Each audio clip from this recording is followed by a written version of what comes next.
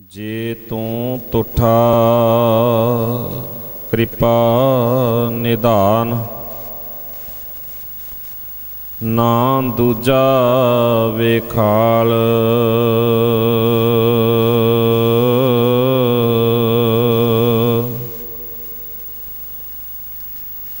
ਇਹਾ ਪਾਈ ਮੂੰ ਦਾਤੜੀ ਨਿਤ ਹਿਰਦੈ ਰਖਾਂ ਸੰਭਾਲ।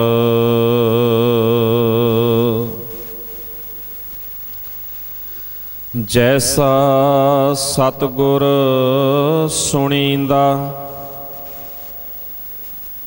ਤੈਸੋ ਹੀ ਮੈਂ ਡੀਠ।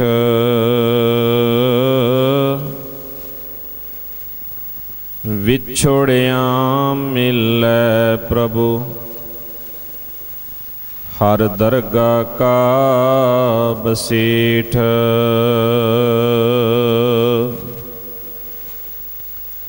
ਹਰ ਨਾਮੋ ਮੰਤਰ ਦਿਰੜਾਏਂਦਾ ਕੱਟੇ ਹਉਮੈ ਰੋਗ। ਨਾਨਕ ਸਤਗੁਰ ਤਿਨਾ ਮਿਲਾਇਆ ਜਿਨਾ ਧੁਰੇ ਪਿਆ ਸੰਜੋਗ। ਨਾਨਕ ਸਤਗੁਰ ਤਿਨਾ ਮਿਲਾਇਆ ਜਿਨਾ ਧੁਰੇ ਪਿਆ ਸੰਜੋਗ।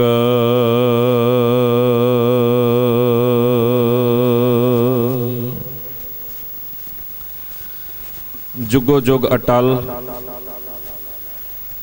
ਚਵਰ ਛਤਰ ਤਖਤ ਦੇ ਮਾਲਕ। ਹਲਤ ਪਲਤ ਸਵਾਰ ਦੇਣ ਹਰ ਸਤਿਗੁਰੂ। ਅੰਮ੍ਰਿਤ ਕੇ ਦਾਤੇ। ਸਤਿਗੁਰੂ, ਸ੍ਰੀ ਗੁਰੂ ਗ੍ਰੰਥ ਸਾਹਿਬ ਜੀ ਦੀ ਪਾਵਨ ਪਵਿੱਤਰ ਹਜ਼ੂਰੀ ਅੰਦਰ ਜੁੜ ਬੈਠੇ ਗੁਰੂ ਪਿਆਰੇ, ਗੁਰੂ ਸਵਾਰੇ ਸਤਸੰਗੀ ਜਨੋ। ਸਤਿਗੁਰੂ ਜੀ ਦੀ ਮੁਬਾਰਕ ਗੋਦ ਵਿੱਚ ਜੁੜ ਬੈਠਦਿਆਂ ਹੋਇਆਂ ਪੰਥਕ ਪਰੰਪਰਾਵਾਂ ਨੂੰ ਸਾਹਮਣੇ ਰੱਖਦਿਆਂ ਹੋਇਆਂ ਆਪ ਜੀ ਬੜੇ ਪਿਆਰ ਨਾਲ, ਸਤਿਕਾਰ ਨਾਲ ਦਸਵੇਂ ਨਾਨਕ ਸਾਹਿਬ ਸ੍ਰੀ ਗੁਰੂ ਗੋਬਿੰਦ ਸਿੰਘ ਮਹਾਰਾਜ ਜੀ ਦੇ ਪ੍ਰਕਾਸ਼ ਪੁਰਬ ਨੂੰ ਮਨਾਉਣ ਦਾ ਆਪ ਜੀ ਯਤਨ ਕਰ ਰਹੇ ਹੋ। ਔਰ ਸਤਿਗੁਰੂ ਗਰੀਬ ਨਿਵਾਜ ਸੱਚੇ ਪਾਤਸ਼ਾਹ ਜੀ ਦਾ ਪ੍ਰਕਾਸ਼ ਪੁਰਬ ਮਨਾਉਂਦਿਆਂ ਹੋਇਆਂ ਆਪ ਜੀ ਲੰਬੇ ਸਮੇਂ ਤੋਂ ਸਵੇਰ ਤੋਂ ਸਤਿਗੁਰੂ ਜੀ ਦੀ ਬਾਣੀ ਦੇ ਪਾਠ, ਕਥਾ, ਕੀਰਤਨ, ਢਾਡੀ ਵਾਰਾਂ ਅਤੇ ਮੇਰੇ ਤੋਂ ਪਹਿਲਾਂ ਜਿਵੇਂ ਛੋਟੇ-ਛੋਟੇ ਬੱਚਿਆਂ ਨੇ ਕਵਿਤਾਵਾਂ ਆਪ ਜੀ ਨੂੰ ਇਤਿਹਾਸ ਨਾਲ ਸੰਬੰਧਿਤ ਸੁਣਾਈਆਂ ਹਨ। ਆਪ ਜੀ ਨੇ ਸਭ ਪਿਆਰ ਨਾਲ ਬੈਠ ਕੇ ਸੁਣਿਆ ਹੈ। ਬੇਨਤੀ ਹੈ, ਜਗ੍ਹਾ ਦੀ ਵੀ ਘਾਟ ਹੋ ਸਕਦੀ ਹੈ। ਇਸ ਲਈ ਵੀ ਪਰੇਸ਼ਾਨੀ ਹੋਏਗੀ। ਥੋੜਾ ਜਿਹਾ ਜੇ ਮਾਹੌਲ ਇਕਾਗਰਤਾ ਵਾਲਾ ਰੱਖਾਂਗੇ, ਤਾਂ ਬੋਲਣ ਵਾਲੇ, ਸੁਣਨ ਵਾਲੇ ਅਸੀਂ ਸਾਰੇ ਕਿਸੇ ਨਤੀਜੇ ਤੇ ਪਹੁੰਚ ਸਕਦੇ ਹਾਂ। ਕਿਉਂਕਿ ਗੁਰਦੁਆਰੇ ਦਾ ਮਾਹੌਲ, ਸੰਗਤ ਦਾ ਮਾਹੌਲ ਜਿੰਨੀ ਦੇਰ ਤੱਕ ਤੁਸੀਂ ਇਕਾਗਰਤਾ ਵਾਲਾ ਨਹੀਂ ਰੱਖੋਗੇ, ਓਨੀ ਦੇਰ ਤੱਕ ਸੁਣਨ ਵਾਲੇ, ਸੁਣਾਉਣ ਵਾਲੇ ਕਈ ਵਾਰ ਉਲਝੇ ਉਲਝੇ ਨਜ਼ਰ ਆਉਂਦੇ ਨੇ ਕਾਰਨ ਇਕਾਗਰਤਾ ਦਾ ਨਾ ਹੋਣਾ। ਔਰ ਮੈਂ ਹੱਥ ਜੋੜ ਕੇ ਬੇਨਤੀ ਕਰਦਾ ਹਾਂ, ਜੇ ਹੋ ਸਕੇ ਸੰਭਵ ਤਾਂ ਗੁਰੂ ਦਰਬਾਰ ਦੀ ਇਕਾਗਰਤਾ ਨੂੰ ਕਾਇਮ ਰੱਖੋ। ਤਾਂ ਕਿ ਜੇ ਬਾਕੀ ਹੋਰ ਕੋਈ ਹਿਲਜੁਲ ਇਧਰ ਉਧਰ ਦੀ ਮਜਬੂਰੀ ਹੈ, ਤਾਂ ਸਾਰੀ ਹਿਲਜੁਲ ਨੂੰ ਵੀ ਇਸ ਤਰੀਕੇ ਨਾਲ ਰੱਖੀਏ ਕਿ ਗੁਰੂ ਦਰਬਾਰ ਦੀ ਇਕਾਗਰਤਾ ਤੇ ਵਿਚਾਰ ਨੂੰ ਟੁੱਟਣ ਨਾ ਦੇਈਏ, ਤਾਂ ਕਿ ਸਾਡਾ ਇੱਥੇ ਬੈਠਣ ਦਾ, ਸਾਡਾ ਇੱਥੇ ਹਾਜ਼ਰੀ ਭਰਨ ਦਾ ਜੋ ਮਕਸਦ ਹੈ, ਉਹ ਪੂਰਾ ਹੋ ਸਕੇ। ਸਤਿਗੁਰੂ ਗੁਰੂ ਕਲਗੀਧਰ ਪਾਤਸ਼ਾਹ ਜੀ ਦਾ ਪ੍ਰਕਾਸ਼ ਪੁਰਬ ਮਨਾਉਣ ਲਈ ਆਪਾਂ ਇਕੱਤਰ ਹੋਏ ਹਾਂ। ਔਰ ਸਤਿਗੁਰੂ ਜੀ ਦਾ ਪ੍ਰਕਾਸ਼ ਪੁਰਬ ਮਨਾਉਂਦਿਆਂ ਹੋਇਆਂ, ਆਓ ਆਪਾਂ ਗੁਰਬਾਣੀ, ਇਤਿਹਾਸ ਅਤੇ ਆਪਣਾ ਆਪ, ਅਸੀਂ ਇਹ ਵਿਚਾਰਨ ਦੀ ਕੋਸ਼ਿਸ਼ ਕਰੀਏ, ਗੁਰਬਾਣੀ ਕੀ ਆਖਦੀ ਹੈ? ਅਸੀਂ ਕੋਸ਼ਿਸ਼ ਕਰੀਏ ਆਪਣੇ ਇਤਿਹਾਸ ਨੂੰ ਦੇਖਣ ਦੀ। ਇਤਿਹਾਸ ਸਾਡਾ ਕੀ ਆਖਦਾ ਹੈ?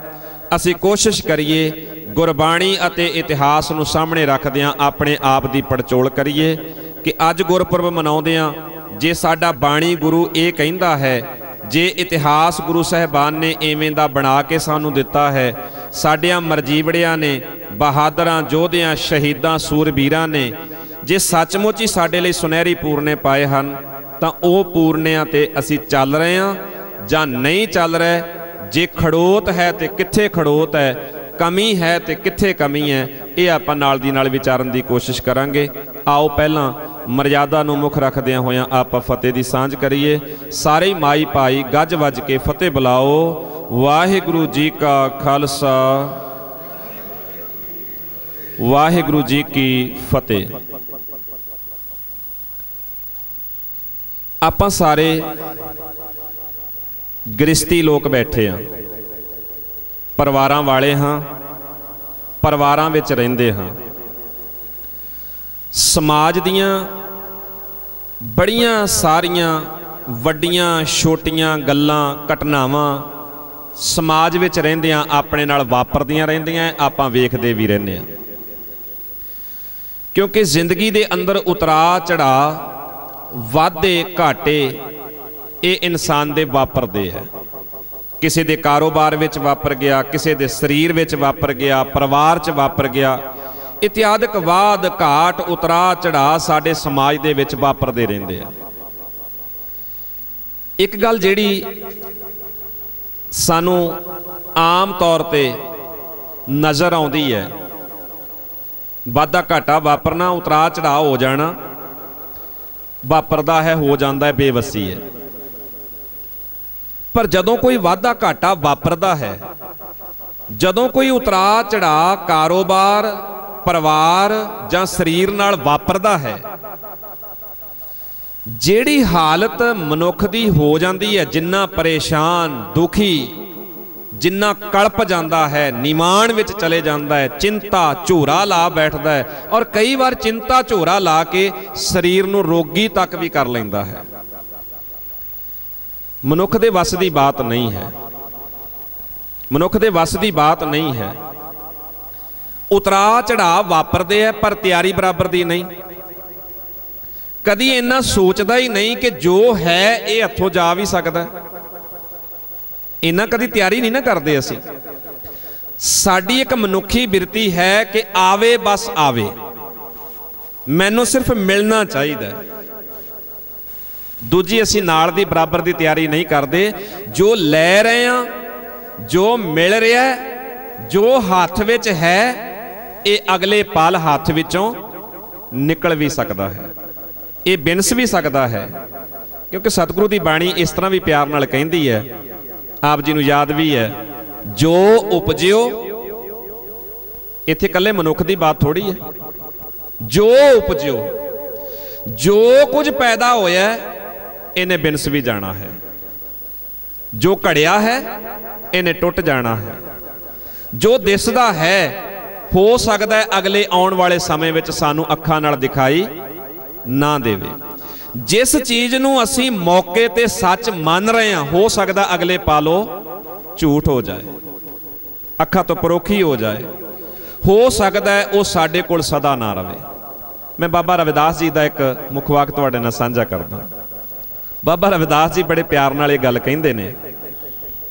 ਆਖਦੇ ਐ ਮਾਟੀ ਕੋ ਪੁੱਤਰਾ ਕੈਸੇ ਨਚਤ ਹੈ ਓਏ ਦੇਖੋ ਦੁਨੀਆ ਦੇ ਲੋਕੋ ਮਿੱਟੀ ਦਾ ਪੁਤਲਾ ਕਿਵੇਂ ਨੱਚਦਾ ਹੈ ਮਾਟੀ ਕੋ ਪੁਤਰਾ ਕੈਸੇ ਨਚਤ ਹੈ ਦੇਖੈ ਦੇਖੈ ਸੁਨੇ ਬੋਲੇ ਦੌੜਿਓ ਫਿਰਤ ਹੈ ਦੌੜਿਆ ਫਿਰਦਾ ਹੈ ਜਬ ਕਛ ਪਾਵੇ ਤਬ ਗਰਭ ਕਰਤ ਹੈ ਮਾਇਆ ਗਈ ਤਬ ਰੋਵਣ ਲਗਤ ਹੈ ਜਦੋਂ ਪਾਉਂਦਾ ਹੰਕਾਰੀ ਜਦੋਂ ਹੱਥੋਂ ਨਿਕਲਦਾ ਉਦੋਂ ਰੋਣ ਬਹਿ ਜਾਂਦਾ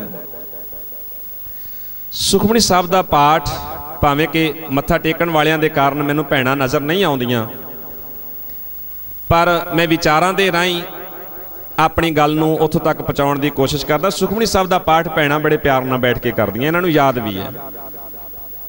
ਸਤਿਗੁਰੂ ਗੁਰੂ ਅਰਜਨ ਸਾਹਿਬ ਸੱਚੇ ਪਾਤਸ਼ਾਹ ਬੜੇ ਪਿਆਰ ਨਾਲ ਸੁਖਮਣੀ ਬਾਣੀ ਅੰਦਰ ਇੱਕ ਪੌੜੀ ਰੱਖਦੇ ਐ ਤੇ ਆਖਦੇ 10 ਵਸਤੂ ਲੈ, ਪਾਛੈ ਪਾਵੈ, ਏਕ ਬਸਤ ਕਾਰਨ ਬੇਖੋਟ ਗਵਾਵੈ, ਏਕ ਪੀ ਨਾ ਦੇ। 10 ਪੀ ਹਿਰ ਲੈ, ਤੋ ਮੂੜਾ ਕਹੋ, ਕਹਾ ਕਰੇ। ਫਿਰ ਕਹਿੰਦੇ, ਜਿਸ ਠਾਕੁਰ ਸਿਓ, ਨਾਹੀ ਚਾਰਾ, ਤਾ ਕਉ ਕੀਜੈ, ਸਦ ਨਮਸਕਾਰਾ। ਉਹਨੂੰ ਨਮਸਕਾਰ ਕਰ, ਚਾਰਾ ਨਹੀਂ ਤੇਰਾ ਚੱਲਣਾ। ਉਸੇ ਸੁਖਮਣੀ ਬਾਣੀ ਦੇ ਵਿੱਚ ਮਹਾਰਾਜ ਐਵੇਂ ਵੀ ਲਿਖਦੇ ਆ, ਅਗਣਤ ਸ਼ਾਹ, ਜਦੋਂ ਸ਼ਾਹ ਆਪਣੀ ਅਮਿਣਵੀਂ, ਅਗਿਣਵੀਂ, ਜਿਹੜੀ ਮਿਣਤੀ ਤੋਂ, ਗਿਣਤੀ ਤੋਂ ਬਾਹਰੀ ਚੀਜ਼ ਮਨੁੱਖ ਨੂੰ ਦੇ ਰਿਹਾ, ਦਾਤਾਂ ਵੰਡ ਰਿਹਾ, ਜਦੋਂ ਕਦੀ ਕੁਝ ਉਹਦੇ ਵਿੱਚੋਂ ਵਾਪਸ ਲੈਂਦਾ ਤੇ ਮਹਾਰਾਜ ਆਖਦੇ, ਅਗਿਆਨੀ ਮਨ ਰੋਸ ਕਰੇ। ਬੜਾ ਰੋਸ ਕਰਦਾ ਹੈ। ਰੋਂਦਾ ਹੈ, ਕਲਪਦਾ ਹੈ। ਖੈਰ, ਮੈਂ ਆਪਣੇ ਵਿਸ਼ੇ ਤੇ ਆਵਾਂ। ਮਨੁੱਖ ਨੂੰ ਜਦੋਂ ਕੁਝ ਮਿਲਦਾ ਹੈ, ਕਿਉਂਕਿ ਬਿਰਤੀ ਹੀ ਲੈਣ ਦੀ ਹੈ। ਬਿਰਤੀ ਹੀ ਕੁਝ ਪ੍ਰਾਪਤ ਕਰਨ ਦੀ ਜੇਬ ਚ ਪਾਉਣ ਦੀ, ਹਾਸਲ ਕਰਨ ਦੀ ਹੈ। ਹੱਥੋਂ ਛੱਡਣ ਦੀ ਤੇ ਹੈ ਹੀ ਨਹੀਂ। ਮਨੁੱਖ ਰੋਂਦਾ ਹੈ, ਕਲਪਦਾ ਹੈ। ਚਿੰਤਾ ਕਰਦਾ ਹੈ। ਨਿਮਾਣ ਵਿੱਚ ਚਲੇ ਜਾਂਦਾ ਹੈ। ਬੜਾ ਨੁਕਸਾਨ ਕਰਾਉਂਦਾ ਹੈ। ਜਿਸ ਸਤਿਗੁਰੂ ਦੇ ਪ੍ਰਕਾਸ਼ ਪੁਰਬ ਨੂੰ ਸਮਰਪਿਤ ਹੋ ਕੇ ਬੈਠੇ ਹੋ ਨਾ, ਦਿਲ ਦੀ ਗਹਿਰਾਈ ਤੋਂ ਇਤਿਹਾਸ ਨੂੰ ਛੂਹਣ ਦੀ ਕੋਸ਼ਿਸ਼ ਕਰੋਗੇ। ਦਿਲ ਦੀ ਗਹਿਰਾਈ ਤੋਂ ਇਤਿਹਾਸ ਨੂੰ ਛੂਹਣ ਦੀ ਕੋਸ਼ਿਸ਼ ਕਰੋਗੇ। ਤਾਂ ਕਿੰਨੀ ਕਮਾਲ ਦੀ ਬਾਤ ਹੈ। ਕਿੰਨੀ ਕਮਾਲ ਦੀ ਬਾਤ ਹੈ। ਕਿਸੇ ਨੌਜਵਾਨ ਦੇ ਸਿਰ ਤੋਂ ਬਾਪ ਦਾ ਸਾਇਆ ਉੱਠ ਜਾਏ। ਕਿਸੇ ਨੌਜਵਾਨ ਦੇ ਸਿਰ ਤੋਂ ਬਾਪ ਦਾ ਸਾਇਆ ਉੱਠ ਜਾਏ। ਉਮਰ 15 16 20 25 ਸਾਲ ਤੱਕ ਵੀ ਹੋਵੇ। ਸੰਭਲਣਾ ਬੜਾ ਮੁਸ਼ਕਲ ਹੈ। ਆਪਾਂ ਸਮਾਜ ਵਿੱਚ ਰਹਿੰਦੇ ਆ ਸੰਭਲਣਾ ਬੜਾ ਮੁਸ਼ਕਲ ਹੈ। ਇੱਕ ਚੜ੍ਹਦੀ ਜਵਾਨੀ ਨੌਜਵਾਨ ਦੇ ਸਿਰ ਤੋਂ ਬਾਪ ਦਾ ਸਾਇਆ ਉੱਠ ਜਾਏ। ਘਰ ਨੂੰ ਕਿਵੇਂ ਸੰਭਾਲੇਗਾ? ਅਜੇ ਉਹਨੇ ਸਿੱਖਿਆ ਕੁਝ ਨਹੀਂ। ਅਜੇ ਉਹਨੂੰ ਜ਼ਿੰਮੇਵਾਰੀਆਂ ਨਿਭਾਉਣੀਆਂ ਨਹੀਂ ਆਉਂਦੀਆਂ। ਅਜੇ ਤਾਂ ਉਹ ਮਾਂ-ਬਾਪ ਦੀ ਉਂਗਲ ਫੜ ਕੇ ਸਿਰਫ ਤੁਰਨਾ ਸਿੱਖ ਰਿਹਾ ਹੈ। ਅਜੇ ਤੇ ਉਹ ਬੋਲਣਾ ਸਿੱਖ ਰਿਹਾ ਹੈ। ਸਮਾਜ ਵਿੱਚ ਖਲੋਣਾ ਸਿੱਖ ਰਿਹਾ ਹੈ। ਅਜੇ ਤੇ ਉਹਨੇ ਅਗਲਾ ਸਮਾਜ ਵਿੱਚ ਰਹਿਣਾ ਗ੍ਰਸਤੀ ਜੀਵਨ ਵਾਲਾ ਪੱਖ ਵੇਖਿਆ ਹੀ ਨਹੀਂ।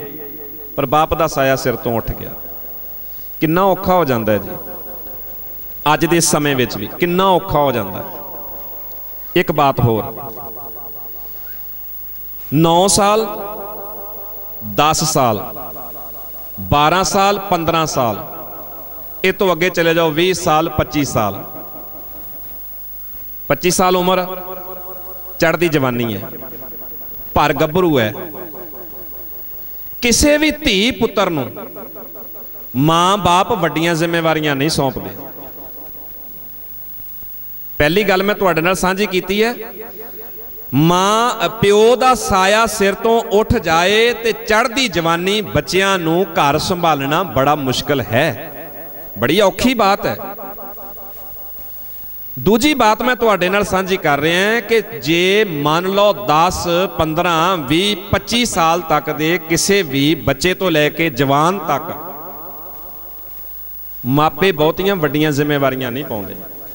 ਕਾਰਨ ਤਜਰਬਾ ਘੱਟ ਹੈ। 20 ਸਾਲ ਦੀ ਉਮਰ ਦਾ ਕੀ ਤਜਰਬਾ ਹੈ? 15 ਸਾਲ ਦੀ ਉਮਰ ਦਾ ਕੀ ਤਜਰਬਾ ਹੈ? ਤਜਰਬਾ ਘੱਟ ਹੈ। ਅਜੇ ਇਹਦੇ ਤੇ ਬੋਝ ਨਾ ਪਾਓ। ਇਹਨੂੰ ਬਹੁਤੀਆਂ ਘਰ ਦੀਆਂ ਉਤਰਾ ਚੜਾ ਦੀਆਂ ਗੱਲਾਂ ਨਾ ਦੱਸੋ। ਬੱਚਾ ਪਰੇਸ਼ਾਨ ਹੋ ਜਾਏਗਾ। ਇਹਨੇ ਚੱਲ ਨਹੀਂ ਪਾਉਣਾ। ਕਾਰੋਬਾਰ ਮਾਪੇ ਕਿਦਾਂ ਤੰਗ ਹੋ ਕੇ ਚਲਾਉਂਦੇ ਐ ਉਹਨਾਂ ਨੂੰ ਕਿਵੇਂ ਕਿਸੇ ਤੋਂ ਕਰਜ਼ਾ ਵੀ ਚੁੱਕਣਾ ਪੈ ਜਾਏ, ਪਰ ਬੱਚਿਆਂ ਤੇ ਬੋਝ ਨਹੀਂ ਆਉਣ ਦਿੰਦੇ। ਮੇਰਾ ਬੱਚਾ ਕਿਤੇ ਬੋਝ ਥੱਲੇ ਦੱਬਿਆ ਨਾ ਜਾਏ। ਕੋਈ ਉਤਰਾ ਚੜਾ ਰਿਸ਼ਤੇਦਾਰਾਂ ਨਾਲ ਕੋਈ ਮਨ ਮਟਾ, ਕੋਈ ਵਾਦ ਘਾਟ ਵਾਪਰੀ, ਸਿਆਣੇ ਮਾਪੇ ਬੱਚਿਆਂ ਤੱਕ ਸੇਕ ਨਹੀਂ ਆਉਣ ਦਿੰਦੇ। ਸਾਡੇ ਬੱਚੇ ਇਸ ਉਲਝਣ ਵਿੱਚ ਪੈ ਕੇ ਕਿਤੇ ਪਰੇਸ਼ਾਨ ਨਾ ਹੋਣ। ਇਹਨਾਂ ਦੇ ਮਨ ਤੇ ਕੀ ਅਸਰ ਪਏਗਾ? ਅਜੇ ਬੋਝ ਝੱਲਣ ਜੋਗੇ ਨਹੀਂ। ਅਜੇ ਭਾਰ ਝੱਲਣ ਜੋਗੇ ਨਹੀਂ। ਅਸੀਂ ਮਾਂ-ਬਾਪ ਅਖਵਾਉਣ ਵਾਲੇ ਸਮਾਜ ਦੀਆਂ ਬਹੁਤੀਆਂ ਮੁਸ਼ਕਲਾਂ ਚੋਂ ਆਪਣਿਆਂ ਬੱਚਿਆਂ ਨੂੰ ਪਾਸੇ ਕਰਕੇ ਆਪ ਬੋਝ ਝੱਲਣ ਦੀ ਸਮਰੱਥਾ ਪਾਲਦੇ ਆ ਕਿ ਇਹ ਬੋਝ ਮੇਰੇ ਸਿਰ ਤੇ ਆ ਜਾਏ, ਮੇਰੇ ਬੱਚਿਆਂ ਦੇ ਮਨ ਤੇ ਕੋਈ ਅਸਰ ਨਾ ਹੋਵੇ। ਜਿਸ ਪ੍ਰਕਾਸ਼ ਪੁਰਬ ਨੂੰ ਮਨਾ ਰਹੇ ਹੋ, ਜਿਹੜਾ ਉਸ ਪਾਸੇ ਧਿਆਨ ਲੈ ਕੇ ਜਾਓ। ਗੁਰੂ ਗੋਬਿੰਦ ਸਿੰਘ ਮਹਾਰਾਜ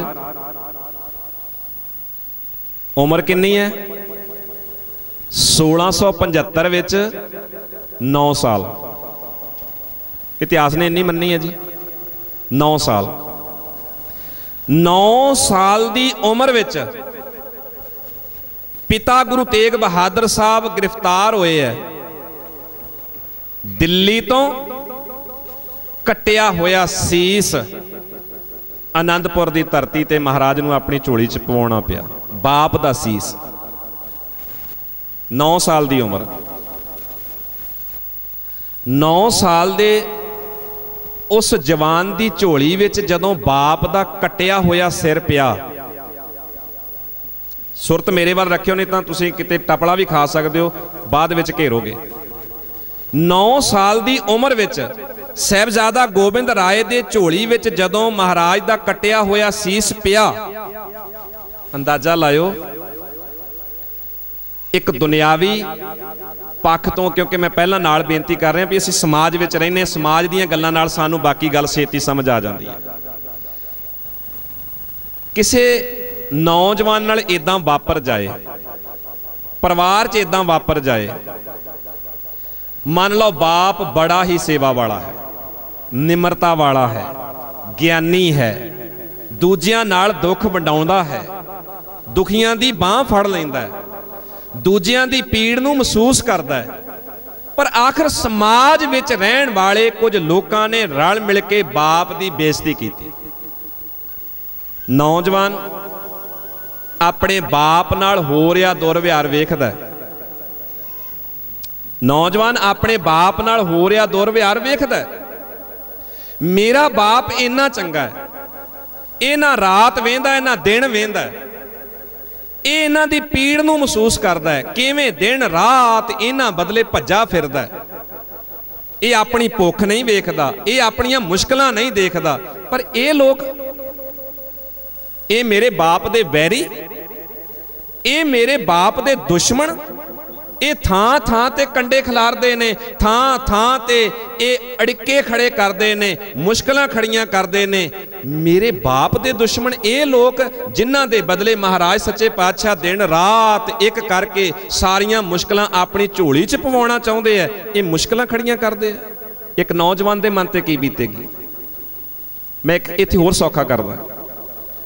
ਗੁਰਦੁਆਰੇ ਕਿਸੇ ਪਰਿਵਾਰ ਨੇ ਸੇਵਾ ਕੀਤੀ ਹੋਵੇ ਨਾ, ਲੰਗਰ ਦੀ ਸੇਵਾ ਕੋਈ ਜੋੜਿਆਂ ਦੀ ਸੇਵਾ, ਪਾਰਕਿੰਗ ਦੀ ਸੇਵਾ, ਕੋਈ ਮੰਨ ਲਓ ਮਾਰਬਲ ਦੀ ਸੇਵਾ, ਇੱਟਾਂ ਦੀ, ਸਰੀਏ ਦੀ ਕੋਈ ਸੇਵਾ, ਕੋਈ ਵੀ ਸੇਵਾ ਕੀਤੀ ਹੈ। ਇਦਾਂ ਹੋਏ ਇਕੱਠ ਵਿੱਚ ਜੇ ਗੁਰਦੁਆਰੇ ਦੇ ਪ੍ਰਬੰਧਕ ਮੰਨ ਲਓ ਜਾਣ ਕੇ ਜਾਂ ਭੁੱਲ ਜਾਣ ਜਾਂ ਕਿਸੇ ਕਾਰਨ ਸਰੋਪਾ ਨਾ ਦੇਣ, ਨਾ ਨਾ ਲੈਣ, ਹਾਲਤ ਕੀ ਹੁੰਦੀ ਹੈ? ਹੁੰਦੀ ਹੈ ਨਾ? ਅਗਲੇ ਪੈਸੇ ਵਾਪਸ ਲੈਣ ਤੱਕ ਚਲੇ ਜਾਂਦੇ ਨੇ। ਅਸੀਂ ਆ ਸਾਰਾ ਕੁਝ ਕੀਤਾ ਹੈ। ਤੁਸੀਂ ਸਾਡਾ ਨਾਂ ਤੱਕ ਨਹੀਂ ਲੈਂਦੇ, ਸਰੋਪਾ ਤੱਕ ਨਹੀਂ ਦਿੱਤਾ। ਦੱਸੋ ਤੁਸੀਂ ਕੌਣ ਹੋ? ਪਤੀ ਦਿਨ ਰਾਤ ਇੱਕ ਕਰਕੇ 2-4 ਦਿਨ ਹਫਤਾ ਇੱਕ ਸੇਵਾ ਕਰੇ। ਗੁਰਦੁਆਰੇ ਵਾਲੇ ਸਮਾਪਤੀ ਤੇ ਨਾਂ ਤੱਕ ਨਾ ਲੈਣ, ਘਰ ਵਾਲੀ ਅਗਲੀ ਵਾਰੀ ਕਹਿ ਦਿੰਦੀ ਹੈ, ਦੇਖ ਲਈ, ਆਪਾਂ ਨਹੀਂ ਹੁਣ ਜਾਣਾ। ਇਹਨਾਂ ਨੇ ਨਾਂ ਨਹੀਂ ਲਿਆ, ਸਰੋਪਾ ਨਹੀਂ ਦਿੱਤਾ। ਇੱਕ ਦੁਨਿਆਵੀ ਪੱਖ ਤੁਹਾਡੇ ਸਾਹਮਣੇ ਰੱਖ ਰਿਹਾ। ਇਹਨਾਂ ਨੇ ਇਹਨਾਂ ਨੇ ਨਾਂ ਨਹੀਂ ਲਿਆ। ਇੰਨਾ ਕੰਮ ਕੀਤਾ, ਇੰਨਾ ਕੰਮ ਕੀਤਾ, ਘਰ ਦਾ ਵਿਗਾੜ ਕੇ ਇਹਨਾਂ ਦਾ ਸਵਾਰਿਆ। ਸੇਵਾ ਵਿੱਚ ਰਹਿ, ਕੀਤੀ ਤੇ ਸੇਵਾ ਹੀ ਹੈ ਨਾ। ਪਰ ਇੱਛਾ ਰੱਖਦੇ ਆ ਸਾਨੂੰ ਕੋਈ ਮਾਣ ਦੇਵੇ, ਸਾਡੇ ਲਈ ਕੋਈ ਸ਼ਬਦ ਬੋਲੇ। ਮੈਂ ਦੂਜੇ ਪਾਸੇ ਗੁਰੂ ਇਤਿਹਾਸ ਦੀ ਗੱਲ ਕਰ ਰਿਹਾ। ਇਹ ਸਮਾਜਿਕ ਪੱਖ ਹੈ। ਦੂਜੇ ਪਾਸੇ ਗੁਰੂ ਇਤਿਹਾਸ ਦੀ ਗੱਲ ਕਰ ਰਿਹਾ। ਕੱਟਿਆ ਹੋਇਆ ਸੀਸ ਝੋਲੀ ਵਿੱਚ ਪਿਆ। 9 ਸਾਲ ਦੀ ਉਮਰ ਹੈ। ਮਨ ਤੇ ਕੋਈ ਰੰਜ ਨਹੀਂ। ਮਨ ਤੇ ਕੋਈ ਗਿਲਾ ਨਹੀਂ। ਕੋਈ ਗਮੀ ਦੇ ਹੰਝੂ ਨਹੀਂ। ਸਿਰ ਨਹੀਂ ਸੁੱਟਿਆ। ਅਗਲੀ ਗੱਲ, ਭੈਣੋ ਧਿਆਨ ਨਾਲ। ਪਤੀ ਦਾ ਕੱਟਿਆ ਹੋਇਆ ਸਿਰ ਅੱਜ ਮਾਂ ਗੁਜਰੀ ਵੀ ਵੇਖ ਰਹੀ ਹੈ, ਮੇਰੇ ਪੁੱਤ ਨੇ ਝੋਲੀ ਚ ਪਵਾ ਲਿਆ। 9 ਸਾਲ ਦੀ ਉਮਰ। 9 ਸਾਲ ਦੀ ਉਮਰ ਇਕਲੌਤਾ ਮੇਰੀਆਂ ਅੱਖਾਂ ਦਾ ਤਾਰਾ ਹੈ, ਜਿਗਰ ਦਾ ਟੋਟਾ ਹੈ, ਮੈਂ ਲਾਡਾਂ ਨਾਲ ਪਾਲਿਆ ਆ ਜਿਹੜੇ ਹਾਲਾਤ ਬਣ ਗਏ ਨੇ, ਰਾਜਨੀਤਿਕ ਲੋਕ ਦੁਸ਼ਮਣ ਬਣ ਗਏ ਨੇ, ਰਾਜਨੀਤਿਕ ਲੋਕ ਐਸੀ ਭੈੜੀ ਹਰਕਤ ਤੱਕ ਉਤਰ ਆਏ ਐ ਨੌਵੇਂ ਸਤਿਗੁਰੂ ਦਾ ਸਿਰ ਕੱਟ ਕੇ ਧੜ ਦਿੱਲੀ ਐ ਸਿਰ ਆਨੰਦਪੁਰ ਸਾਹਿਬ ਆ ਗਿਆ ਮਾਂ ਗੁਜਰੀ ਆਪਣੇ ਪਤੀ ਦਾ ਕੱਟਿਆ ਹੋਇਆ ਸਿਰ ਪੁੱਤਰ ਦੀ ਝੋਲੀ ਵਿੱਚ ਵੇਖਦੀ ਹੈ। ਇਹ ਨਹੀਂ ਆਖਿਆ, ਸੁਣਿਓ, ਇਹ ਨਹੀਂ ਆਖਿਆ, ਪੁੱਤਰ ਛੱਡ। ਪਹਿਲਾਂ ਤੇਰੇ ਪੜਦਾਦੇ ਦਾ, ਗੁਰੂ ਅਰਜਨ ਸਾਹਿਬ ਦਾ ਇੰਨੀ ਸੇਵਾ ਕੀਤੀ, ਲਾਹੌਰ ਦੀਆਂ ਗਲੀਆਂ ਚੋਂ ਆਪ ਲਾਸ਼ਾਂ ਚੁੱਕੀਆਂ। ਪੁੱਤਰ, ਜਦੋਂ ਕਾਲ ਪਿਆ, ਗੁਰੂ ਘਰ ਦੇ ਦਰਵਾਜ਼ੇ ਦੁਖੀਆਂ ਲਈ ਖੋਲ ਦਿੱਤੇ। ਉਸੇ ਲਾਹੌਰ ਦੇ ਵਿੱਚ ਤੇਰੇ ਪੜਦਾਦੇ ਗੁਰੂ ਅਰਜਨ ਸਾਹਿਬ ਦੇ ਸਿਰ ਤੇ ਇਹਨਾਂ ਜ਼ਾਲਮਾਂ ਨੇ ਰੇਤ ਤੱਕ ਪਾਈ ਸੀ। ਕੀ ਮੁੱਲ ਪਾਇਆ ਇਹਨਾਂ ਨੇ? ਨਾ, ਮਾਤਾ ਗੁਜਰੀ ਨੇ। ਗੁਰੂ ਤੇਗ ਬਹਾਦਰ ਸਾਹਿਬ ਦਾ ਸੀਸ ਗੋਬਿੰਦ ਰਾਏ ਜੀ ਦੀ ਝੋਲੀ ਵਿੱਚ ਹੈ। ਹੌਸਲੇ ਨਾਲ ਮੋਢੇ ਤੇ ਹੱਥ ਰੱਖ ਕੇ ਪਿਆਰ ਨਾਲ ਆਖਿਆ, ਪੁੱਤਰ, ਸੇਵਾ ਕਰਨ ਵਾਲੇ, ਭਲਾ ਚਾਹਣ ਵਾਲੇ, ਮਨੁੱਖਤਾ ਲਈ ਜੂਝਣ ਵਾਲੇ ਗੁਰੂ ਨਾਨਕ ਦੇ ਘਰ ਦੇ ਪੱਲੇ ਇਹ ਸ਼ਹਾਦਤਾਂ ਪੈਂਦੀਆਂ ਆਈਆਂ ਤੇ ਪੈਂਦੀਆਂ ਰਹਿਣਗੀਆਂ। ਝੂਠਿਆਂ ਦਾ, ਸੱਚਿਆਂ ਦਾ ਟਕਰਾਰ ਰਹੇਗਾ, ਕਿਉਂਕਿ ਬਾਣੀ ਵੀ ਕਹਿੰਦੀ ਹੈ, ਭਗਤਾਂ ਤੈ ਸੈਂਸਾਰੀਆਂ, ਜੋੜ ਕਦੇ ਨਾ ਆਇਆ। ਸਚਾਈ ਪਸੰਦ ਸੱਚ ਵੱਲ ਮੂੰਹ ਕਰਨਗੇ, ਝੂਠੇ ਬੰਦੇ ਝੂਠ ਵੱਲ ਮੂੰਹ ਕਰਨਗੇ। ਇਹਨਾਂ ਦਾ ਕੰਮ ਹੈ ਝੂਠ ਦੀ ਪਾਲਣਾ ਕਰਨਾ। ਇਹਨਾਂ ਦਾ ਕੰਮ ਹੈ ਬੇਈਮਾਨੀ ਨੂੰ ਉੱਚਿਆਂ ਚੁੱਕਣਾ। ਇਹਨਾਂ ਦਾ ਕੰਮ ਹੈ ਲੁੱਟ, ਖਸੁੱਟ, ਕਤਲੋ ਗਾਰਤ ਨੂੰ ਵਧਾਉਣਾ, ਹੱਲਾ ਸ਼ੇਰੀ ਦੇਣੀ। ਪਰ ਪੁੱਤਰ, ਗੁਰੂ ਨਾਨਕ ਜੀ ਦੇ ਘਰ ਦਾ ਮਿਸ਼ਨ ਹੈ, ਗੁਰੂ ਨਾਨਕ ਜੀ ਦੇ ਘਰ ਦਾ ਸਿਧਾਂਤ ਹੈ, ਦੁਖਿਆਰਿਆਂ ਦੀ ਬਾਹ ਫੜਨੀ, ਲੋੜਵੰਦਾਂ ਦੀ ਮਦਦ ਕਰਨੀ, ਲੋਕਾਂ ਨੂੰ ਅਣਖ ਇੱਜ਼ਤ ਨਾਲ ਜਿਉਣਾ, ਸਿਖਾਉਣਾ, ਲੋਕਾਂ ਨੂੰ ਹੌਸਲਾ ਦੇਣਾ, ਤਕੜੇ ਹੋਵੋ। ਅਸੀਂ ਜ਼ੁਲਮ ਦਾ ਮੁਕਾਬਲਾ ਕਰ ਸਕਦੇ ਹਾਂ। ਗੁਰੂ ਨਾਨਕ ਜੀ ਦਾ ਘਰ ਸਦਾ ਹੀ ਇਹ ਕਰਦਾ ਆਇਆ ਹੈ ਤੇ ਇਹ ਬੇਈਮਾਨ, ਝੂਠੇ, ਠੱਗ, ਵਿਕਾਊ ਲੋਕ ਜਿਹੜੇ ਐ ਇਹ ਸਦਾ ਹੀ ਸਚਾਈ ਦੇ ਨਾਲ ਟਕਰਾਉਂਦੇ ਆ ਰਹੇ ਨੇ। ਮਾਂ ਗੁਜਰੀ ਨੇ ਹੌਸਲੇ ਦੇ ਬੋਲ ਕੇ ਹੌਸਲਾ ਦਿੱਤਾ। ਪੁੱਤਰ, ਮੈਂ ਤੇਰੇ ਨਾਲ ਆ ਜਿੱਥੇ ਆਖੇਗਾ, ਜਿਵੇਂ ਆਖੇਗਾ, ਮੈਂ ਤੇਰੇ ਮੋਢੇ ਨਾਲ ਮੋਢਾ ਜੋੜ ਕੇ ਖਲੋਵਾਂਗੀ। ਇਹ ਮਾਤਾ ਗੁਜਰੀ ਦੀ ਦਾ ਜੀਵਨ ਹੈ। ਇਹ ਉਹਦੀ ਚੜ੍ਹਦੀ ਕਲਾ ਹੈ। ਆਨੰਦਪੁਰ ਸਾਹਿਬ ਦੀ ਧਰਤੀ ਤੇ ਆਪਣੇ ਪੁੱਤਰ ਦੇ ਮੋਢਿਆਂ ਤੇ ਪਈ ਹੋਈ ਜ਼ਿੰਮੇਵਾਰੀ ਨੂੰ ਵੇਖਦਿਆਂ ਮਾਂ ਗੁਜਰੀ ਬਰਾਬਰ ਤੇ ਨਾਲ ਖੜ ਜਾਂਦੀ ਹੈ। ਪੁੱਤਰ, ਮੈਂ ਸੇਵਾ ਵਿੱਚ ਹਾਜ਼ਰ ਹਾਂ। ਜ਼ਿੰਮੇਵਾਰੀ ਤੇਰੇ ਤੇ ਆਈ ਹੈ। ਮੈਂ ਹਾਜ਼ਰ ਹਾਂ। ਮੈਂ ਆਸ ਕਰਦੀ ਹਾਂ।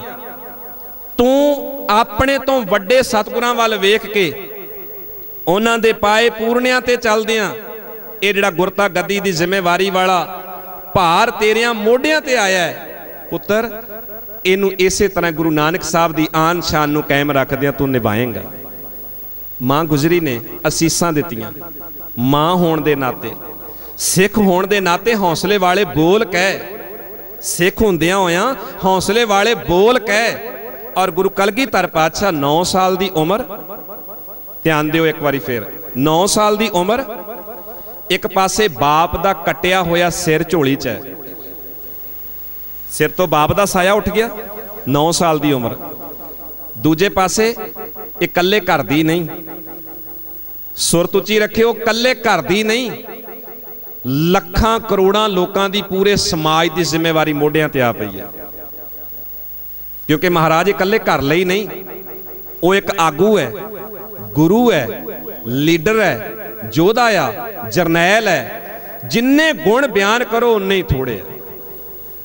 ਮਹਾਰਾਜ ਦੇ ਮੋਢਿਆਂ ਤੇ ਆ ਪਈ ਹੈ 9 ਸਾਲ ਦੀ ਉਮਰ ਹੈ, ਯੋਧਿਆਂ ਨੂੰ ਵੀ ਟ੍ਰੇਨਿੰਗ ਦੇਣੀ ਹੈ, ਜਰਨੈਲਾਂ ਨੂੰ ਸੰਭਾਲ ਕੇ ਰੱਖਣਾ ਹੈ ਸੂਰਬੀਰਾਂ ਨੂੰ ਹੌਸਲਾ ਦੇਣਾ ਹੈ, ਸ਼ਸਤਰਧਾਰੀ ਲੋਕਾਂ ਨੂੰ ਕਿਵੇਂ ਸ਼ਸਤਰ ਦੇ ਦਾਅ ਪੇਚ ਸਿਖਾਉਣੇ ਆ, ਇਹ ਮਹਾਰਾਜ ਦੀ ਜ਼ਿੰਮੇਵਾਰੀ ਆ ਬਣੀ ਹੈ।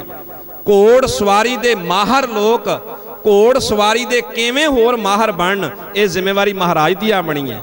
ਪਰਿਵਾਰ ਵੀ ਸੰਭਾਲਣਾ ਪਰਿਵਾਰ ਵੀ ਸੰਭਾਲਣਾ ਤੇ ਨਾਲ ਪੰਥ ਵੀ ਸੰਭਾਲਣਾ ਹੈ। ਤੀਜਾ ਪੱਖ, ਹਕੂਮਤ ਖੂੰਖਾਰ ਹੈ। ਹਕੂਮਤ ਖੂੰਖਾਰ ਹੈ। ਹਕੂਮਤ ਢਿੱਲ ਨਹੀਂ ਕਰ ਰਹੀ। ਹਕੂਮਤ ਹਰ ਵੇਲੇ ਇਸ ਇੱਛਾ ਨਾਲ ਚੱਲਦੀ ਹੈ। ਗੁਰੂ ਨਾਨਕ ਦਾ ਘਰ ਬੰਦ ਕਰਾਉਣਾ ਹੈ। ਗੁਰੂ ਤੇਗ ਬਹਾਦਰ ਸਾਹਿਬ ਦਾ ਚਾਂਦਨੀ ਚੌਂਕ ਵਿੱਚ ਧੜ ਨਾਲੋਂ ਸੀਸ ਅਲੱਗ ਹੋਣਾ, ਇਹ ਕੋਈ ਛੋਟੇ ਅਰਥ ਨਹੀਂ ਰੱਖਦਾ। ਦਸਵੇਂ ਪਾਤਸ਼ਾਹ ਜੀ ਦੇ ਸਾਹਮਣੇ ਚੁਣੌਤੀਆਂ ਹੀ ਚੁਣੌਤੀਆਂ ਨੇ। ਪਹਾੜੀ ਰਾਜੇ ਵੱਖਰੇ ਔਖੇ ਨੇ। ਜਿਹੜੇ ਇਲਾਕੇ ਦੇ ਨੇੜੇ ਦੇ ਪਹਾੜੀ ਰਾਜੇ, ਜਿੱਥੇ ਜਿਸ ਧਰਤੀ ਤੇ ਆਨੰਦਪੁਰ ਸਾਹਿਬ ਮਹਾਰਾਜ ਨੇ ਜ਼ਮੀਨ ਖਰੀਦ ਕੇ ਵਸਾਇਆ ਹੈ ਉਸ ਧਰਤੀ ਦੇ ਰਾਜੇ, ਰਾਜਾ ਭੀਮਚੰਦ ਵਰਗੇ, ਕਹਿਲੂਰੀਏ ਵਰਗੇ, ਰਾਜੇ ਔਖੇ ਨੇ। ਉਤੋਂ ਹਿੰਦੁਸਤਾਨ ਦਾ ਬਾਦਸ਼ਾਹ ਔਰੰਗਜ਼ੇਬ ਖੂੰਖਾਰ ਬਣਿਆ ਬੈਠਾ ਨੌਵੇਂ ਪਾਤਸ਼ਾਹ ਜੀ ਦੀ ਸ਼ਹੀਦੀ ਅਜੇ ਤਾਜੀ ਹੈ। ਤਿੰਨਾਂ ਸਿੱਖਾਂ ਦੀ ਦਰਦਨਾਕ ਸ਼ਹੀਦੀ, ਇੱਕ ਨੂੰ ਆਰੇ ਨਾਲ ਚੀਰਿਆ, ਦੂਜੇ ਨੂੰ ਰੂਹ 'ਚ ਲਪੇਟ ਕੇ ਸਾੜਿਆ ਤੇ ਤੀਜੇ ਨੂੰ ਦੇਗ 'ਚੋਂ ਉਬਾਲਿਆ। ਉਹ ਹਕੂਮਤ ਨੇ ਘਟ ਕੀਤੀ ਹੈ।